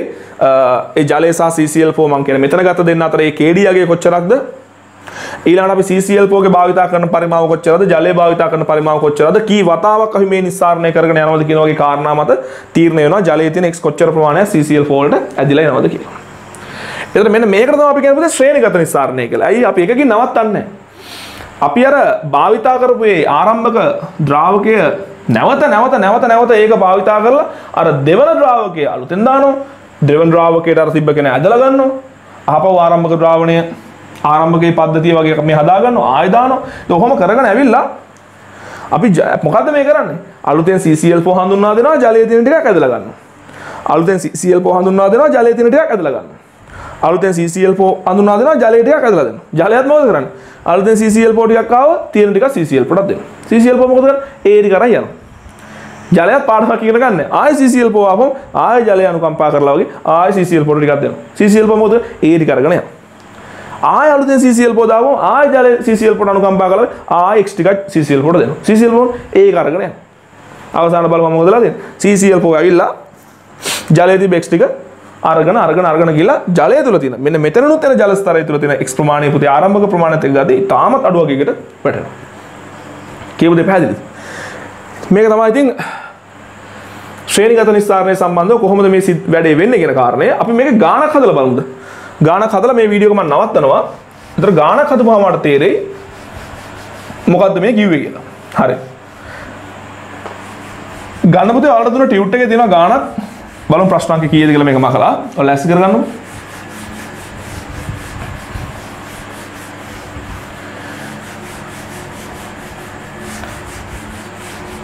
හරි ඔයාලට මොකක් හරි ගැටලුවක් තිබ්බොත් කමෙන්ට් එකක් දාන්න. අපි බලමු ඉස්සරහට මම පුළුවන් උපකාරයක් ඔයගොල්ලෝ වෙනුවෙන් කරන්නම්. අපි පටන් ගත්ත වැඩේ අපි ලස්සනට ඉවර කරලා දාමු. හරිද? හරි. මේක තියෙනවා ගානක් දරුවෝ. ඉන්න බලන්න. 17 වෙනි ගාන. 17 වෙනි ගාන. අපි විසඳමු. 17 වෙනි ගාන. මේක නම් සුළු කරන්න මොකක් හරි බලමු. කැල් එකක් තියෙනවා. වැඩ කරයිද දන්නේ. හරි. 17 වෙනි ගාන යම් උෂ්ණත්වයකදී CCl4 සහ ජලය අතර I2 වල ව්‍යාප්ති සංගුණක අණුවයි. ආ අපිට දීලා තියෙනවා. පුතේ දැන් මෙහෙම දුන්නාම මම චූටි කාරණයක් කියන්නවා. මේවා දැන් ප්‍රැක්ටිස් ෆ්‍රික්ෂන්ස් නේ. එතන මෙතන CCl4 සහ ජලය අතර I2 වල ව්‍යාප්ති සංගුණකයේ අණුවයි කිව්වහම දැන් ඔය ව්‍යාප්ති සංගුණකයේ CCl4 සහ ජලය අතර I2 ගේ ව්‍යාප්ති සංගුණකයේ ලියන්න පුළුවන් ක්‍රම දෙකක් තියෙනවා. එකක් තමයි KD සමානයි I2 ජලය තුල සාන්ද්‍රණය බෙදීම I2 CCl4 තුල සාන්ද්‍රණය කියලා ලියන්න පුළුවන්. ආයෙ ලියන්න පුළුවන් KD සමානයි I2 CCl4 තුල සාන්ද්‍රණය බෙදීම I2 ජලය තුල සාන්ද්‍රණය. පුතේ I2 කියන්නේ නිර්ද්‍රව්‍ය සංයෝගයක් නේ. ජලය තුලද හොඳින්ම දිය වෙන CCl4 තුලද? CCl4 තුල දිය වෙනවනේ. එහෙනම් පුතේ අනිවාර්යෙන් 90 වගේ අනුපාතයක් එන්න නම් වැඩියෙන් දිය වෙන කෙනා උඩින් ඉන්න ඕන අඩුවෙන් දිය වෙන කෙනා යටින් ඉන්න. මම ඒ කියපු දේ තේරුණාද? I2 දැන් මේක විභාගයේ මීට වඩා සාධාරණ ඔයගොල්ලන්ට දෙනවා. ඇත්තටම කවුද උඩින් ඉන්නේ කවුද යටින් ඉන්නේ කියලා. එහෙම දුන්නේ නැතත් පා තේරුම් ගන්න ඕන. දැන් මේ වගේ එකක් නම් නොදුන්නත් ප්‍රශ්නයක් නැහැ. අයි දරුවෝ තේරුම් ගන්න ඕන අයඩින් ජලයේ ද්‍රාව්‍යතාවය ඉතාම අඩුයි. ඒ කියන්නේ දිය වෙන්නේ නැති තරම් කියලා උගන්වන්නේ පීගොනුවේ. හරි. I2 වල ජල ද්‍රාව්‍යතාවය ඉතා අඩුයි. දිය වෙන්නේ නැති තරම්. ඒතර පුතේ දිය වෙන්නේ නැති තරම් කෙනෙක් උඩ හිටපුවාම 90 වගේ අනුපාතයක් කියන්න බෑ 90 kd ට 90 වෙනවා කියන්නේ පුතේ උඩ සාන්ද්‍රණය වැඩි යට සාන්ද්‍රණය අඩුයි කියන එකනේ. ඒතර CCl4 කියන්නේ නිර්ද්‍රවීයයි. අනික අපි අර I අයින හඳුනා ගැනීමේ පරීක්ෂණයේ CCl4 භාවිතා කරනවා I2 කියලා CCl4 වල දිය වෙනවා. ඒතර ඔයගොල්ලන්ට අර කොමන් සෙන්ස් තියෙන්න ඕන. මොකද්ද? මෙතනදී KD අනු KD ලියනකොට KD ලියනකොට CCl4 I2 CCl4 තුල තියෙන I2 තමයි උඩට එන්න ඕන ජලය තුල තියෙන I2 තමයි යටට යන්න ඕන මොකද I2 CCl4 වල හොඳින් දිය වෙනවා I2 ජලයේ අඩුවෙන් දිය වෙන්නේ එහෙනම් හොඳින් දිය වෙන කෙනෙක් ඒ කියන්නේ හොඳින් කියන්නේ ලොකු සාන්ද්‍රණයක් බෙදීම පොඩි සාන්ද්‍රණයක් කියන එක විතර 90 වගේ උත්තරයක් එන්න පුළුවන්. මම කියපුවේ තේරෙන්නේ නැති. මම මේ කියන්න හදුවේ මොකද්ද කියලා. නිසා මෙතන කියන්නේ නෑ පුතේ. CCl4 සහ I2 අතර CCl4 සහ ජලය අතර I2 හි ව්‍යාප්ති සංගුණක 90යි කිව්වහම මේක පුතේ අනිවාර්යෙන්ම ඔයා තේරුම් ගන්න ඕන. මෙන්න මේ විදිහට මේ කියන්නේ අනුව සමානයි. I2 CCl4 තුල බෙදීම I2 ජලය තුල කියලා. I2 CCl4 තුල ද්‍රාව්‍යතාවය වැඩි නිසා එතකොට අණු වගේ උත්තරයක් එන්න පුළුවන්. මේක එනම් තේරුම් ගන්න. හරි? ඒක එහෙම අනේ අපි දන්නේ නැහැ නේ එහෙම එකක්. එහෙනම් කවන්නේ නැහැ. දැන් දන්නවනේ මෙතන ඉඳන් ගාන හදන්න පටන් ගන්න. හරිද? මෙතන ඉඳන් ගාන හදන්න පටන් ගන්න. එහෙනම් මේක අනිවාර්යයෙන්ම ඔය විදිහට ලියා ගැනීම වැදගත්. මේ ගාන නිවැරදි වෙන්න නැත්නම් අනිවාර්යෙන් ගාන වර්ධිනවා. හරි? ගාන වර්ධිනවා. හරි. මම මේ ගාන කරලා අදට වීඩියෝ එක නවත්තනවා. බලන්න ගාන ඉවර වෙන්න කලින් වීඩියෝ එක නවත්තන්න වෙයිද දන්නේ නැහැ මොකද මට රෙකෝඩින් ටයිම් එක අනුව තමයි මම තීරණය කරන්නේ මොකද වෙන්නේ කියලා හරි දැන් මේක ඔහොම ලියාගෙන අපිට කියන අපතේ අයඩින් ග්‍රෑම් තුනක අඩංගු ජලය ඝන සෙන්ටිමීටර් 500ක් තියෙනවා. ඒකත් මේ ABC කියන කොටස් ඔක්කොටම පොදුයි හරි. හරි. I2 දශම 3 ග්‍රෑම් තියෙන ජලය ඝන සෙන්ටිමීටර් 500ක් තියෙනවලු. ඒ කියන්නේ ඩෙසිමීටර් භාගයක්. ඒකත් ඔහොම තියාගන්න. CCl4 100ක් මගින් නිස්සාරණය කරයි. ඔයාලට විද්‍යාගාරයේ දීලා තියෙනවා CCl4 100. ඔච්චරයි දෙන්නේ. CCl4 100යි. මොනවාද CCl4 100ක් තියෙනවා. දවා මෙතනින් දන්නවා පුතේ ජලයේ තියෙන I2 ටික හරි හොඳට දිය වෙනවා CCl4 තුල. මොකද CCl4 තුල I2 සාන්ද්‍රණය බෙදීම ජලය තුල I2 සාන්ද්‍රණය කියන අනුපාතය 90යි කියලා කියන්නේ I2 CCl4 තුල දිය වෙනවා කියන එක. එහෙනම් අපිට පුළුවන් මේ ජලයේ තියෙන I2 ටික පුතේ CCl4 ටික ඇද ගන්න. හැබැයි ඔයාට මේ ඝන සෙන්ටිමීටර් 100 භාවිතා කළ ක්‍රම තුනකට මේක කරන්න පුළුවන්. A B C ඒ කියන්නේ මේ ABC කියන තුනටම 100 නෙමෙයි. ඔයාට මේ තුනටම 100ව තුනක් දීලා තියෙනවා. එහෙම හිතන්න හරි. මේකට CCl4 CI මේකට CCl4 CI මේකට CCl4 CI දීලා තියෙනවා. ඔයාට කියනවා සිම්පල් A වලදී මේ CCl4 100 එකපාර භාවිතා කරලා කොච්චරක් අයිටු නිස්සාරණය කරගන්න පුළුවන්ද කියලා අහනවා. ඒ කියන්නේ මොකක්ද? මෙන්න මේක මේකත් මතක තියාගන්න මේකත් ඔයාට තුනක් දීලා තියෙනවා. කියන්නේ I2 දශම 3 බැගින් දීවිච්ච ජලය ඝන සෙන්ටිමීටර් 500වත් ඔහම තුනක් තියෙනවා. මේ පොඩි ටෙස්ට් එකක්. ඔයාටම දෙයක් අවබෝධ කරගන්න හදන්න. අවබෝධ කරවන්න හදන්න. ඒගොල්ලෝ කියනවා මේ ඝන සෙන්ටිමීටර් 500 CCl4 500 එකපාර හැලුවොත් මොකද වෙන්නේ? කොච්චරක් CCl4 එනවද? අයි බලමු. ඒතර පද්ධතිය මේ වගේ නෙන්නේ. අපි නිකන් බීකර කොහොමද දෙමු මේ වගේ. එතකොට ඔන්න CCl4 ඝන සෙන්ටිමීටර් 100යි ජලය ඝන සෙන්ටිමීටර් 500යි අපි කෙලිම සමතුලිතය ආපු අවස්ථාව ලියමු I2 මේ දෙක අතර සමතුලිතයකට එනවා අපි හිතමු CCl4 වලට ස්කන්ධය යම් පුතේ CCl4 වලට M1 ග්‍රෑම් ප්‍රමාණයක් ආවා කියලා එතන පද්ධතියේ ජලය තුළ තිබ්බ මුළු ප්‍රමාණය 0.3නේ. එහෙනම් මෙතන 0.3 ඍණ M1 වෙන්න එපා. ඔන්න ඕවා ලියා ගන්න පුළුවන් වෙන්න ඕන. I think CCl වලට M1 ප්‍රමාණයක් ගියා නම් මෙතන තිබ්බෙත් 0.3යි නම් දැන් තියෙනවා 0.3 ඍණ M1 මම කියපු දේ පැහැදිලිද? එතකොට දැන් මේ M1 හොයාගත්තා නම් හරි. අපෙන් අහන්නේ CCl පොතුරට ආපු ස්කන්ධ ඒක තමයි නිස්සාරණය වූ ප්‍රමාණය කියලා කියන්නේ. M1 හොයාගන්න. ඒත් අපිට පුළුවන් මෙහෙම මේ KD ප්‍රකාශනය අපි ළඟ තියෙනවානේ. එහෙනම් ඔයාලට පුළුවන් පුතේ මෙන්න මෙහෙම කරන්න. මම වැඩි වගන්ද ලියන්න නැතුව ගන්න හදලා දාන්න. 90 සමානයි මොකක්ද? I2 CCl4 තුල බෙදීම සාන්ද්‍රණය බෙදීම I2 ජලය තුලනේ. එහෙනම් 90 සමානයි පුතේ මම කිව්වා මේවා මේ මවුල කරලා ඝන ඩෙසිමීටර් කර කර ඉන්න ඕනේ හරි මවුල කරන්න මෞලික ස්කන්ධයෙන් බෙදනවා කියන්නේ ඒවත් කැපිලා ඒ නිසා අපිට ස්කන්ධ සංයුතියක් විදිහට තියන්න පුළුවන් මම CCl4 තුල I2 සංයුතිය මෙහෙම ලියනවා මේ M බෙදීම ඝන සෙන්ටිමීටර් 100 දැන් මම මෙතන අහන්නේ කෙලින්ම නිස්සාරණය වෙන ප්‍රමාණයනේ. ඝන සෙන්ටිමීටර් 100 එතන මෙතන ඕනා ලියන්න පුළුවන් ග්‍රෑම් ඝන සෙන්ටිමීටර. බෙදීම I2 ජලය තුළ සංයුතිය ලියනවා දශම තුන ඍණ M1 හරි. බෙදීම 500යි ග්‍රෑම් ඝන සෙන්ටිමීටරයට හරි. මෙතන උත්තරේ හදපු ළමයි මට කමෙන්ට් එකක් දාලා කියන්න. කීයක් දෙන්නේ කියලා. හරි කීයක් දෙන්නේ කියලා මෙතන උත්තරේ කියන්න ඔන්න එතකොට මගේ පළවෙනි ප්‍රශ්නේ තමයි ඔන්න ක්‍රමය මම කියලා දෙනවා. එතකොට මේකේ උත්තරය අපි ලබන සතියේ සාකච්ඡා කරනවා. මම ABC කියලා උත්තර ටික විතරයි දාන්නේ පුතේ. හරි. හැබැයි මට පුළුවන් නම් ළමයි ටිකක් කමෙන්ට් කරලා මේක උත්තර ටික දාන්න A ක්‍රමේදී කොච්චරද B ක්‍රමේදී C ක්‍රමේදී කොච්චරද කියලා. එතකොට ඒක වීඩියෝ එක බලන අනිත් ළමයිට චෙක් කරගන්න පුළුවන්. එතකොට ඔයගොල්ලන්ට පොඩි කම්පිටිෂන් එකක් තියෙනවා. මගේ උත්තරේ දාරි මගේ උත්තරේ දාරි. එතකොට මට ලබන වීඩියෝ එකේදී මේක සාකච්ඡා කරන්න ලේසි. ඔන්න දැන් යම් ප්‍රමාණයක් එනවා කියලා හිතන්නකෝ පුතේ. දැන් උදාහරණයකට 0.27ක් විතර එනවා කියලා හිතන්න. 0.27ක්. ඕක මම හිතන්නේ උත්තරේ 0.27යි M1 එන්නේ හරි. මට මතක විදියට. M1 එන 0.27යි. ඒ කියන්නේ දශම 3න් පුතේ දශම 2.7ක්ම මේකට ගිහිල්ලා. ඒ කියන්නේ CCl පොතුල දැන් බලන්නකෝ දාලා තියෙන පරිමාවත් අඩු වෙලා තියෙද්දි මේක තිබිච්ච අයිටු ඔක්කොම වගේ මේකට ගිහිල්ලා මේ දශම 3න් දශම 2.7ක් CCL පොල. ඒ කියන්නේ පුතේ ජලය ඉතුරු වෙන්නේ කොච්චරද? ජලය ඉතුරු වෙන්නේ 0.0.3යි. කියන්නේ සැලකියුතු ප්‍රමාණය CCL පොලට ඇවිල්ලානේ. පැහැදිලි නේද? හරි. දැන් එතන ඉවරයි. ඕක මතක තියාගෙන අපි ඊළඟ ක්‍රමයට යනවා. B ක්‍රමයට. B ක්‍රමය කියනවා මෙහෙම.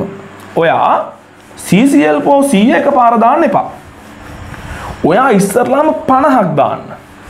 50ක් දාලා 50ට අයිටු ඇදගෙන ACCL පෝ 50 අයින් කරලා ඒ ඉතිරි වෙන ජලයට ආයෙත් 50ක් දාලා. ඒ කියන්නේ 100 දෙපාරක් 50 50 ගානේ දාලා ACCL පෝ දෙපාරට කොච්චර අයිටු වෙනවද කියලා බලන්න. මාර කතාවනේ. දශම දෙකේ හත නෙමෙයිද? 100 එක පාර දැම්මා 100 50 50 කළා දෙපාරක් දැම්මත් එක මගේ නෙමෙයිද? පොඩ්ඩයි බලමු. එතකොට මෙහෙමයි ගාන යන්න ඕන පුතේ හරි. මම එතකොට C කොටස හදන්නෙම නෑ. වීඩියෝ එක නවත්තනවා B එකෙන් C කොටස සම්පූර්ණයෙන් ඔයගොල්ලෝ හදන්න ඕන මම මේ කියන විදියට. එහෙනම් ඔන්න B එකේදී මෙහෙමයි වෙන්නේ. පළමු නිස්සාරණය කියලා ලියන්න. පළමු නිස්සාරණය මොකද කරන්නේ? ඔයා දාන්න ඕන CCl4 50යි. ජලය ඝන සෙන්ටිමීටර් 500ම භාවිතා කරන්න. එතකොට මේකේ I2 ටික ව්‍යාප්ත වෙනවා. ඔයා හිතනකො පුතේ එහෙනම් මෙතන තියෙන 0.03 ඍණ M2 පුතේ වරද්ද ගන්න බෑ මේකෙන් ඉතිරි ජලය නෙමෙයි B එකට යන්නේ. අර මේ වගේම පද්ධති තුනක් තියෙනවා. මේ පෙන්වන්න හදන වෙන මොකුත් නෙමෙයි. අර අපි භාවිතා කරන දෙවන ද්‍රාවකයේ ඒ අපිට හම්බලා තියෙන පරිමාව එකපාර දැම්මොත්ද කෑලි කෑලි කඩලා දැම්මොත් ඒ නිස්සාරණය වෙන මුළු ප්‍රමාණය යම් වෙනසක් තියෙනවද කියන එක උගන්වන්න තමයි ඔය හදන්නේ. වෙනසක් තියෙනවද කියන එක උගන්වන්න තමයි ඔය හදන්නේ. එතකොට දැන් හරිද? අපි මෙතන ඔහොම කොහොම කරත් පුතේ? මේ තර සංයුති අනුපාතය අනුවයිනේ. ඒක වෙනස් වෙන්නේ එකම නියත උෂ්ණත්වය. එහෙනම් අපි නිකමට දාලා බලමු. 90 සමානයි. CCl පෝ තුල I2 සංයුතිය මම මේ M කියන M2 කියන ග්‍රෑම් නේ පුතේ. මේවා ග්‍රෑම් හරි. එහෙනම් මම ග්‍රෑම් ඝන සෙන්ටිමීටර් එන විදිහට ලියන්නම් මේ M2 බෙදීම දැන් 50යි පුතේ හරි ග්‍රෑම් ඝන සෙන්ටිමීටරයට යට ජලය තුලයිට සාන්ද්‍රණය දැන් තියෙනවා පුතේ සොරි මේ වැරදි ඈ 0.03 නෙමෙයි අර කලින් ඉතිරි වෙච්ච එක එහෙම නෙමෙයි ගේන්නේ මේ වගේම අලුත් එකක් වෙනස තියෙන්නේ 100 එක පාර දාන්න නැතුව 50 දෙපාරක් දාන. අන්න ඒ වගේම මම අතින් වැරදි හරි වරදි බලාගෙන හරි. හරි මේ කතාව ඉවරයි. ඒක ඉවරයි. අලුත් එකක් ගෙනලා තමයි B කරන්නේ.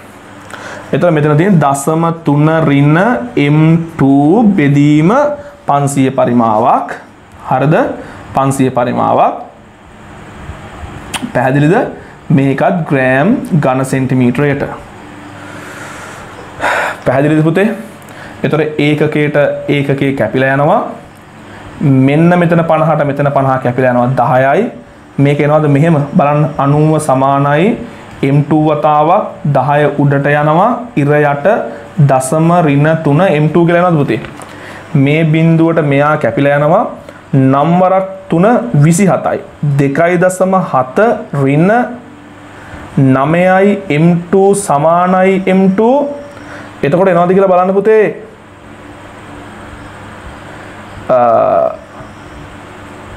දහයයි M2 සමානයි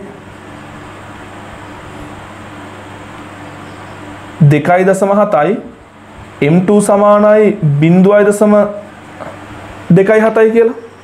එතකොට පුතේ M2 සමානයි බින්දුවයි දසම දෙකයි හතයි කියලා කියන්නේ බලන්න පුතේ සුළු කිරීම වැරදුනොත් ඔන්න මම වීඩියෝ එඩිට් කරන්න නැහැ කිව්වා. හරි? බලන්න ඒක. අර කලින් දාපු බින්දුව දසම දෙකයි හත මම මේ හිතපු එක හරි. එතකොට මේ දෙකයි දසම හත කියන පුතේ CCl පොලට අප්‍රමාණය හරි? මෙතන චූටි වෙනසක් නම් වෙන්න ඕන කියලා මට හිතෙනවා. හරි මං ගාන හදලා පෙන්නන්න කමක් නැහැනේ. ඒතර ඔයගොල්ලෝ මට ඒක හදලා කියන්න හරි. ඒ නැත්නම් වෙලා යනවා හරි.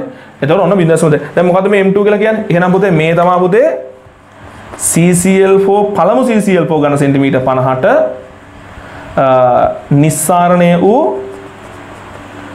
I2 ස්කන්ධය සමානයි 0.27 ග්‍රෑම් කියලා මම දාගන්න. හරි?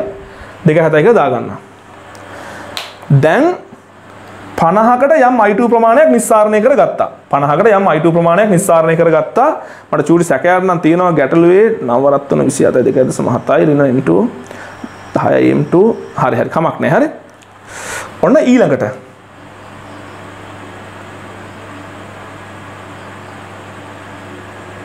දෙවන නිස්සාරණයට යනවා දැන් මේක හොඳට අහගන්න ඕන දෙවන නිස්සාරණයට යන්නේ කොහොමද පුතේ දෙවන නිස්සාරණයට යන්නේ දැන් වාට කොහොමද ආවේ? මෙන්න මේකේ තියෙන ප්‍රමාණය තමයි පුතේ 0.27යි කියලා.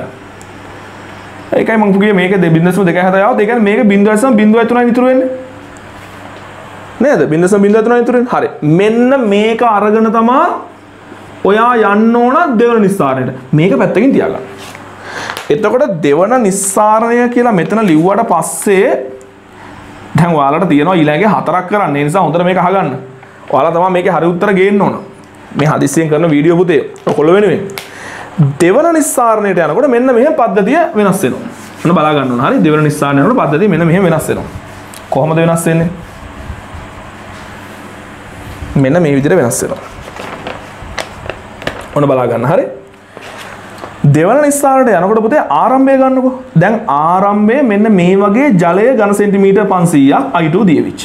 හැබ අයිටු ගෙන්තින කොච්ච බිඳස බිඳුව තුනයිග්‍රය ජලය ගන සෙන්ටිමීට පන්සීයා ඔයා මේ සීයෙන් බාගෙන දැම් ඉතුරු පණහ මේකට ගෙනත් දන අලු CCL4 පණහා අන්න එහෙම ගානට එන්ට වෙන්නවා එතකොට දැන් සමතුලිතයටාවට පස්සේ පද්ධතිය කොහොමද තියෙන්නේ? සමතුලිතයටාවට පස්සේ පද්ධතිය තියෙන්නේ මෙන්න මේ වගේ CCL4 ටික යටතේ CCL4 ගන සෙන්ටිමීට පණහයි උඩ තියෙනවා ජලය ගන සෙන්ටිමීට පන්සීයයි පුතේ අයිට ගතික සමතුලිතයට එනවා. හැබැයි අර ඉතුරවිච්ච බින්දුවදසම් බින්දුවයි තුනේ යම් ප්‍රමාණයක් M3 කියල ප්‍රමාණයක් ICCL බෝඩ යනවා. එතකට මෙතන ඉතුරු වෙන්නේ මේ තිබිච්ච බින්දසම් බින්දුවයි තුනේ M3 ප්‍රමාණය. ඔන්නෝක හරියට ලියාගන්න ඕන. එතකට දැන් මෙන්න මේ M3CCL පොල තියෙන ඕකත් අපි වෙන් කරලා ගත්තාම අර කලින් ආපු M2 මේ M3 දෙක එකතුව තමයි පුතේ නිස්සාරණ වාර දෙකකදී නිස්සාරණය මුළු I2 ප්‍රමාණය වෙන්නේ. ඒක කලින් එකේ අර එකපාරම CCL පො 100 දාපුවකට සමාන නැද්ද කියලා ඔයාලට බලා ගන්න පුළුවන් ගෙදරදී. ඒක බලලා ලෑස්ති වෙලා ඉන්න ඊළඟ වීඩියෝ එකට. පුළුවන් දරුවෝ ඉන්නවා නම් කමෙන්ට් එකක් දාලා උත්තර ටික දෙන්න. ඒතකොට මට මම උගන්වපු දේ ඔයගොල්ලෝ කරලා කියලා තහවුරු වෙනවනේ. ඒ අනුව තීරණය වෙනවා ඊළඟ වීඩියෝ එක දාන්න ඕනේ මේ ළමයි වැඩ කරනවා කියලා. සව ඔයගොල්ලන්ගේ ඒ උනන්දුවත් පෙන්වන්න ඕන මට. නැත්තම් මෙතනින් කතා වෙන අපිට මේක ලියන්න පුළුවන්. අපිට මේ M3 තව ගන්න පුළුවන් මෙන්න මේ ආකාරයට. දවලා දන්නවා මම කලින් අර සිද්ධාන්තය පැහැදිලි කරද්දි කිව්වා පළමු නිස්සාරණයද දෙවන නිස්සාරණයද නැත්නම් අර පළමු සමතුලිතතාවයට පත්වීමද දෙවන සමතුලිතතාවයට පත්වීමද දාලා නැහැ ඒ කොයි අවස්ථාවේදීත් පුතේ මේ I2 සාන්ද්‍රතර අනුපාතය අර KD-යට සමානයි. ඒක නියතයක් වෙන විදිහට තමයි හැම අවස්ථාවකදීම ඒ ව්‍යාප්ත වීම සිද්ධ වෙන්නේ. නිසා මෙතනත් අපිට ලියන්න පුළුවන් පුතා 90 සමානයි. අපි දැම්මේ කවුද CCl පොතුල I2 නේ උඩට දැම්මේ. එනම් M3 බෙදීම පරිමාව ගණ සෙන්ටිමීට පණහයි ග්‍රෑම් ගණ සෙන්ටිමීටරයට බෙදීම බින්දශම බින්දුවයි තුනරින M3 යට පන්සීයයි ග්‍රෑම් ගණ සෙන්ටිමීටරයට මසුරු කරන්නම්. හරි. මෙයාට මෙතන කැපෙන දහයක් ඉතුරෙනවා ආයත්තෙනවා අනුව සමානයි. M3 වැඩි කිරීම දහය. මේ දහය උඩට යනවානේ. එතකොට ඉර යට තියෙන මොකද්ද? 0.03 M3 හරිනේ මම? එතකොට මේ 10ට මේ 10 කැපෙනවා. එතකොට මෙතන එනවා පුතේ 9 වතාවක් 0.03 ඍණ M3 සමානයි M3 කියලා. මේ 9 මේකෙන් වැඩි වෙච්චාම 9යි M3 වැඩි කිව්වම 10යි M3 එනවා. හරි? සරි 10යි M3 එනවා. මෙතනවා බින්දුවයි දසම බින්දුවයි තුන වැඩි කිරීම නමය. ඒක නවරත්වන විසි අතයි බින්දුවයි දසම හරි බින්දසම බින්දුව තුන වැඩි කිරීම නමයන බින්දුවයි දසම දෙකයි හතයි. ඒ යනපතේ M3 එනවා. බින්දසම බින්දුවයි දෙකයි හතයි. ඒකන්ත CCL4 වලට ඊළඟ පාර නිස්සාරණය වෙච්ච ප්‍රමාණයන බින්දසම බින්දුවයි දෙකයි හතයි. මට දැන් මතක් වුණේ මම හිතන්නේ අපේ මේක සිම්පල් ඒවල එන උත්තරේ මම කිය බින්දසම දෙකයි හතයි කියන්නේ දෙක බින්දසම දෙකයි හතන්නේ ඊට වඩා වැඩි වෙන්න ඕන. බොහෝ විට. ඕ මන්ද එක පොඩක් බලන්න. හරි. ඒවල මම සුළු කරේ නෑනේ ඒ උත්තරේ පොඩ්ඩක් කවුරු හරි කමෙන්ට් එකක් පුළුවන් නම් දාලා තියන්න. රයිට් දැන් අපෙන් අහන ප්‍රශ්නේ තමයි නිස්සාරණය වූ මුළු I2 නිස්සාරණය වූ මුළු I2 මුළු I2 දැන් කොච්චරද පළවෙනි වටේ 0.2.7ක් නිස්සාරණය වුණා. පළවෙනි ගණ සෙන්ටිමීටර් 50ට දෙවෙනි ගණ සෙන්ටිමීටර් 50ට 0.02.7 0.02.7 මේක එකතු කරන්න. හරි. එතකොට මේක එකතු කරපුවාම මට උත්තරයක් එනවා. මේ බලන්න. 0.27 0.02.7 මේවා වැරදුනොත් අපරාධේ 7යි 9යි 2යි දැන් බලන්න බින්දසම 2යි 9යි. ඒ කියන්නේ බින්දසම බින්දසම 3ට ඉතාමත් ආසන්න වෙනකම් නිස්සාරණ වෙලා තියෙනවා. දැන් ඔයා සිම්පල් ඒට පුත්තරේ සිම්පල් බීට පුත්තරේ සංසන්ධනය කරනවට පැහැදිලිවම තේරෙයි. 100ක් එකපාර දාලා නිස්සාරණය කරනකොට 50 දෙපාරකින් නිස්සාරණය කරද්දී නිස්සාරණය වෙන ප්‍රමාණය වැඩි කියලා. දැන් එහෙනම් 100 ගැන මොකද කරන්නද? කියන්න දෙන්න. 100 හතරකට කඩලා 25ක් දානවා 25ක් දානවා 25ක් දානවා 25ක් දානවා හතර පාරක් නිස්සාරණය කරපුවාම ඔයාට එන මුළු ප්‍රමාණය ඔයා ගණනය කරන්න ඕන. ඒ ගණනය කරලා උත්තරේ මට දෙන්න ඕන. එතකොට ඉතින් මේ වගේ අර ලියන වාර ගාන හතරක් වෙනවා. අයි පොඩ්ඩක් පටන් ගමුද ඕන්න. පොඩ්ඩක් පටන් ගමුද? හරි. මම එකක් ලියලා පෙන්නන්න. එතකොට ඔයාලා ඊළඟ වීඩියෝ එක කරද්දී ගණන් තුන හදලා ABC හදලා ලස්සනට උත්තර ටික තියාගන්න පුළුවන් ළමයි කමෙන්ට් එකක් විදිහට ඒ උත්තර ටික දාන්න අනිත් ළමයි නැත්නම් තවත් පුළුවන් ළමයි ඉන්නවා නම් ඒ හදපු ගානම attach කරත් කමක් නැහැ කමෙන්ට් එකට එන්න පුළුවන් නම් නැත්නම් තමයි Facebook එකට හරි එවලා තියෙනවා මම බලන්න. සර් මෙන්න හදපු ගාන හරිද බලන්න මම හරි බලලා කියන්නම්. 100ක යනකොට නිස්සාරණ හතරක් යනවා. එතන පළමු නිස්සාරණය. හැබැයි පුතේ මතක තියාගන්න දශම ස්ථාන කියන්නේ දශම ස්ථාන ඉතාමත් කියන්නේ දශම ස්ථාන හරියට සැලකිල්ලෙන් හදන්න මොකද ඕක තුනට ආසන්න වෙනවා. ඒතර වටයක් දිහා හරි පරිස්සමට. ඒතර හතර පාරක් නිස්සාරණය කරනකොට ඒ ගාන හදන්න කෙටි ක්‍රමයකුත් තියෙනවා.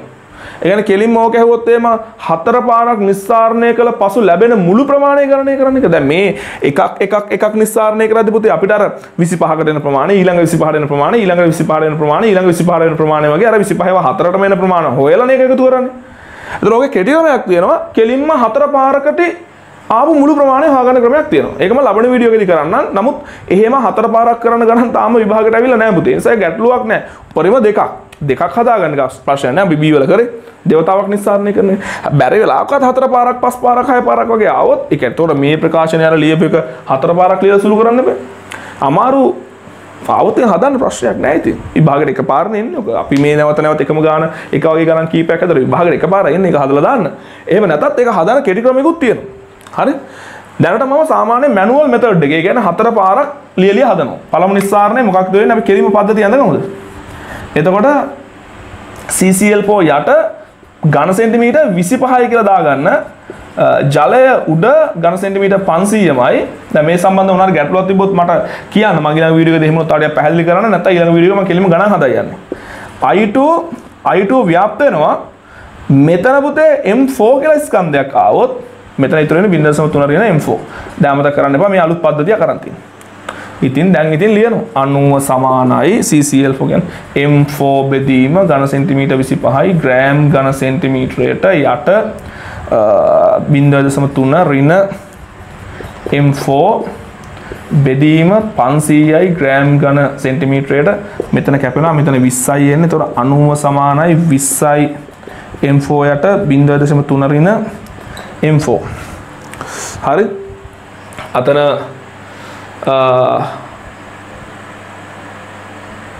මේ බින්දුවර මේ බින්දුව කපන්න පුළුවන්. හරි. පුළුවන්නේ පුළුවන් හරි. එතර නමය වතාවක් බින්දුව දසම තුන්න රින M4 ඔයාල මට වඩා සුළු කරන දක්ෂ ඇති. හරි. දෙකයි M4 එතර මෙතර නමයයි M4 දෙකයි M4 කියලා කියන්නේ 11ක් එනවා නේද? හරි. 11යි M4 කියලා එනවා නේද? හරි. බලන්න. හරි එතර මෙතන නවරත්තුන 27 බිඳුසම දෙකයි හතයි. නවරක් තුන 27යි දශම දෙකයි හතයි. දශම දෙකයි හතයි. එතකොට M4 කියලා කියන්නේ දෙකයි දශම හත බෙදීම 11යි මම නිකන් දාන්නම්කෝ. හරි? කැල්ල එකක් තිබ්බ මේ හරියේ. දෙකයි දශම හත බෙදීම 11යි උත්තර බින්දසම දෙකයි හතරයි පහක්. බින්දසම දෙකයි හතරයි පහක්. බින්දුවයි දසම දෙකයි හතරයි පහක් ඔන්න එනම් පළවෙනි නිස්සාරණයේදී බින්දසම දෙකයි හතරයි පහයි ග්‍රෑම් කියලා එනවා. දැන් ඊළඟට දෙවන නිස්සාරණයට යනකොට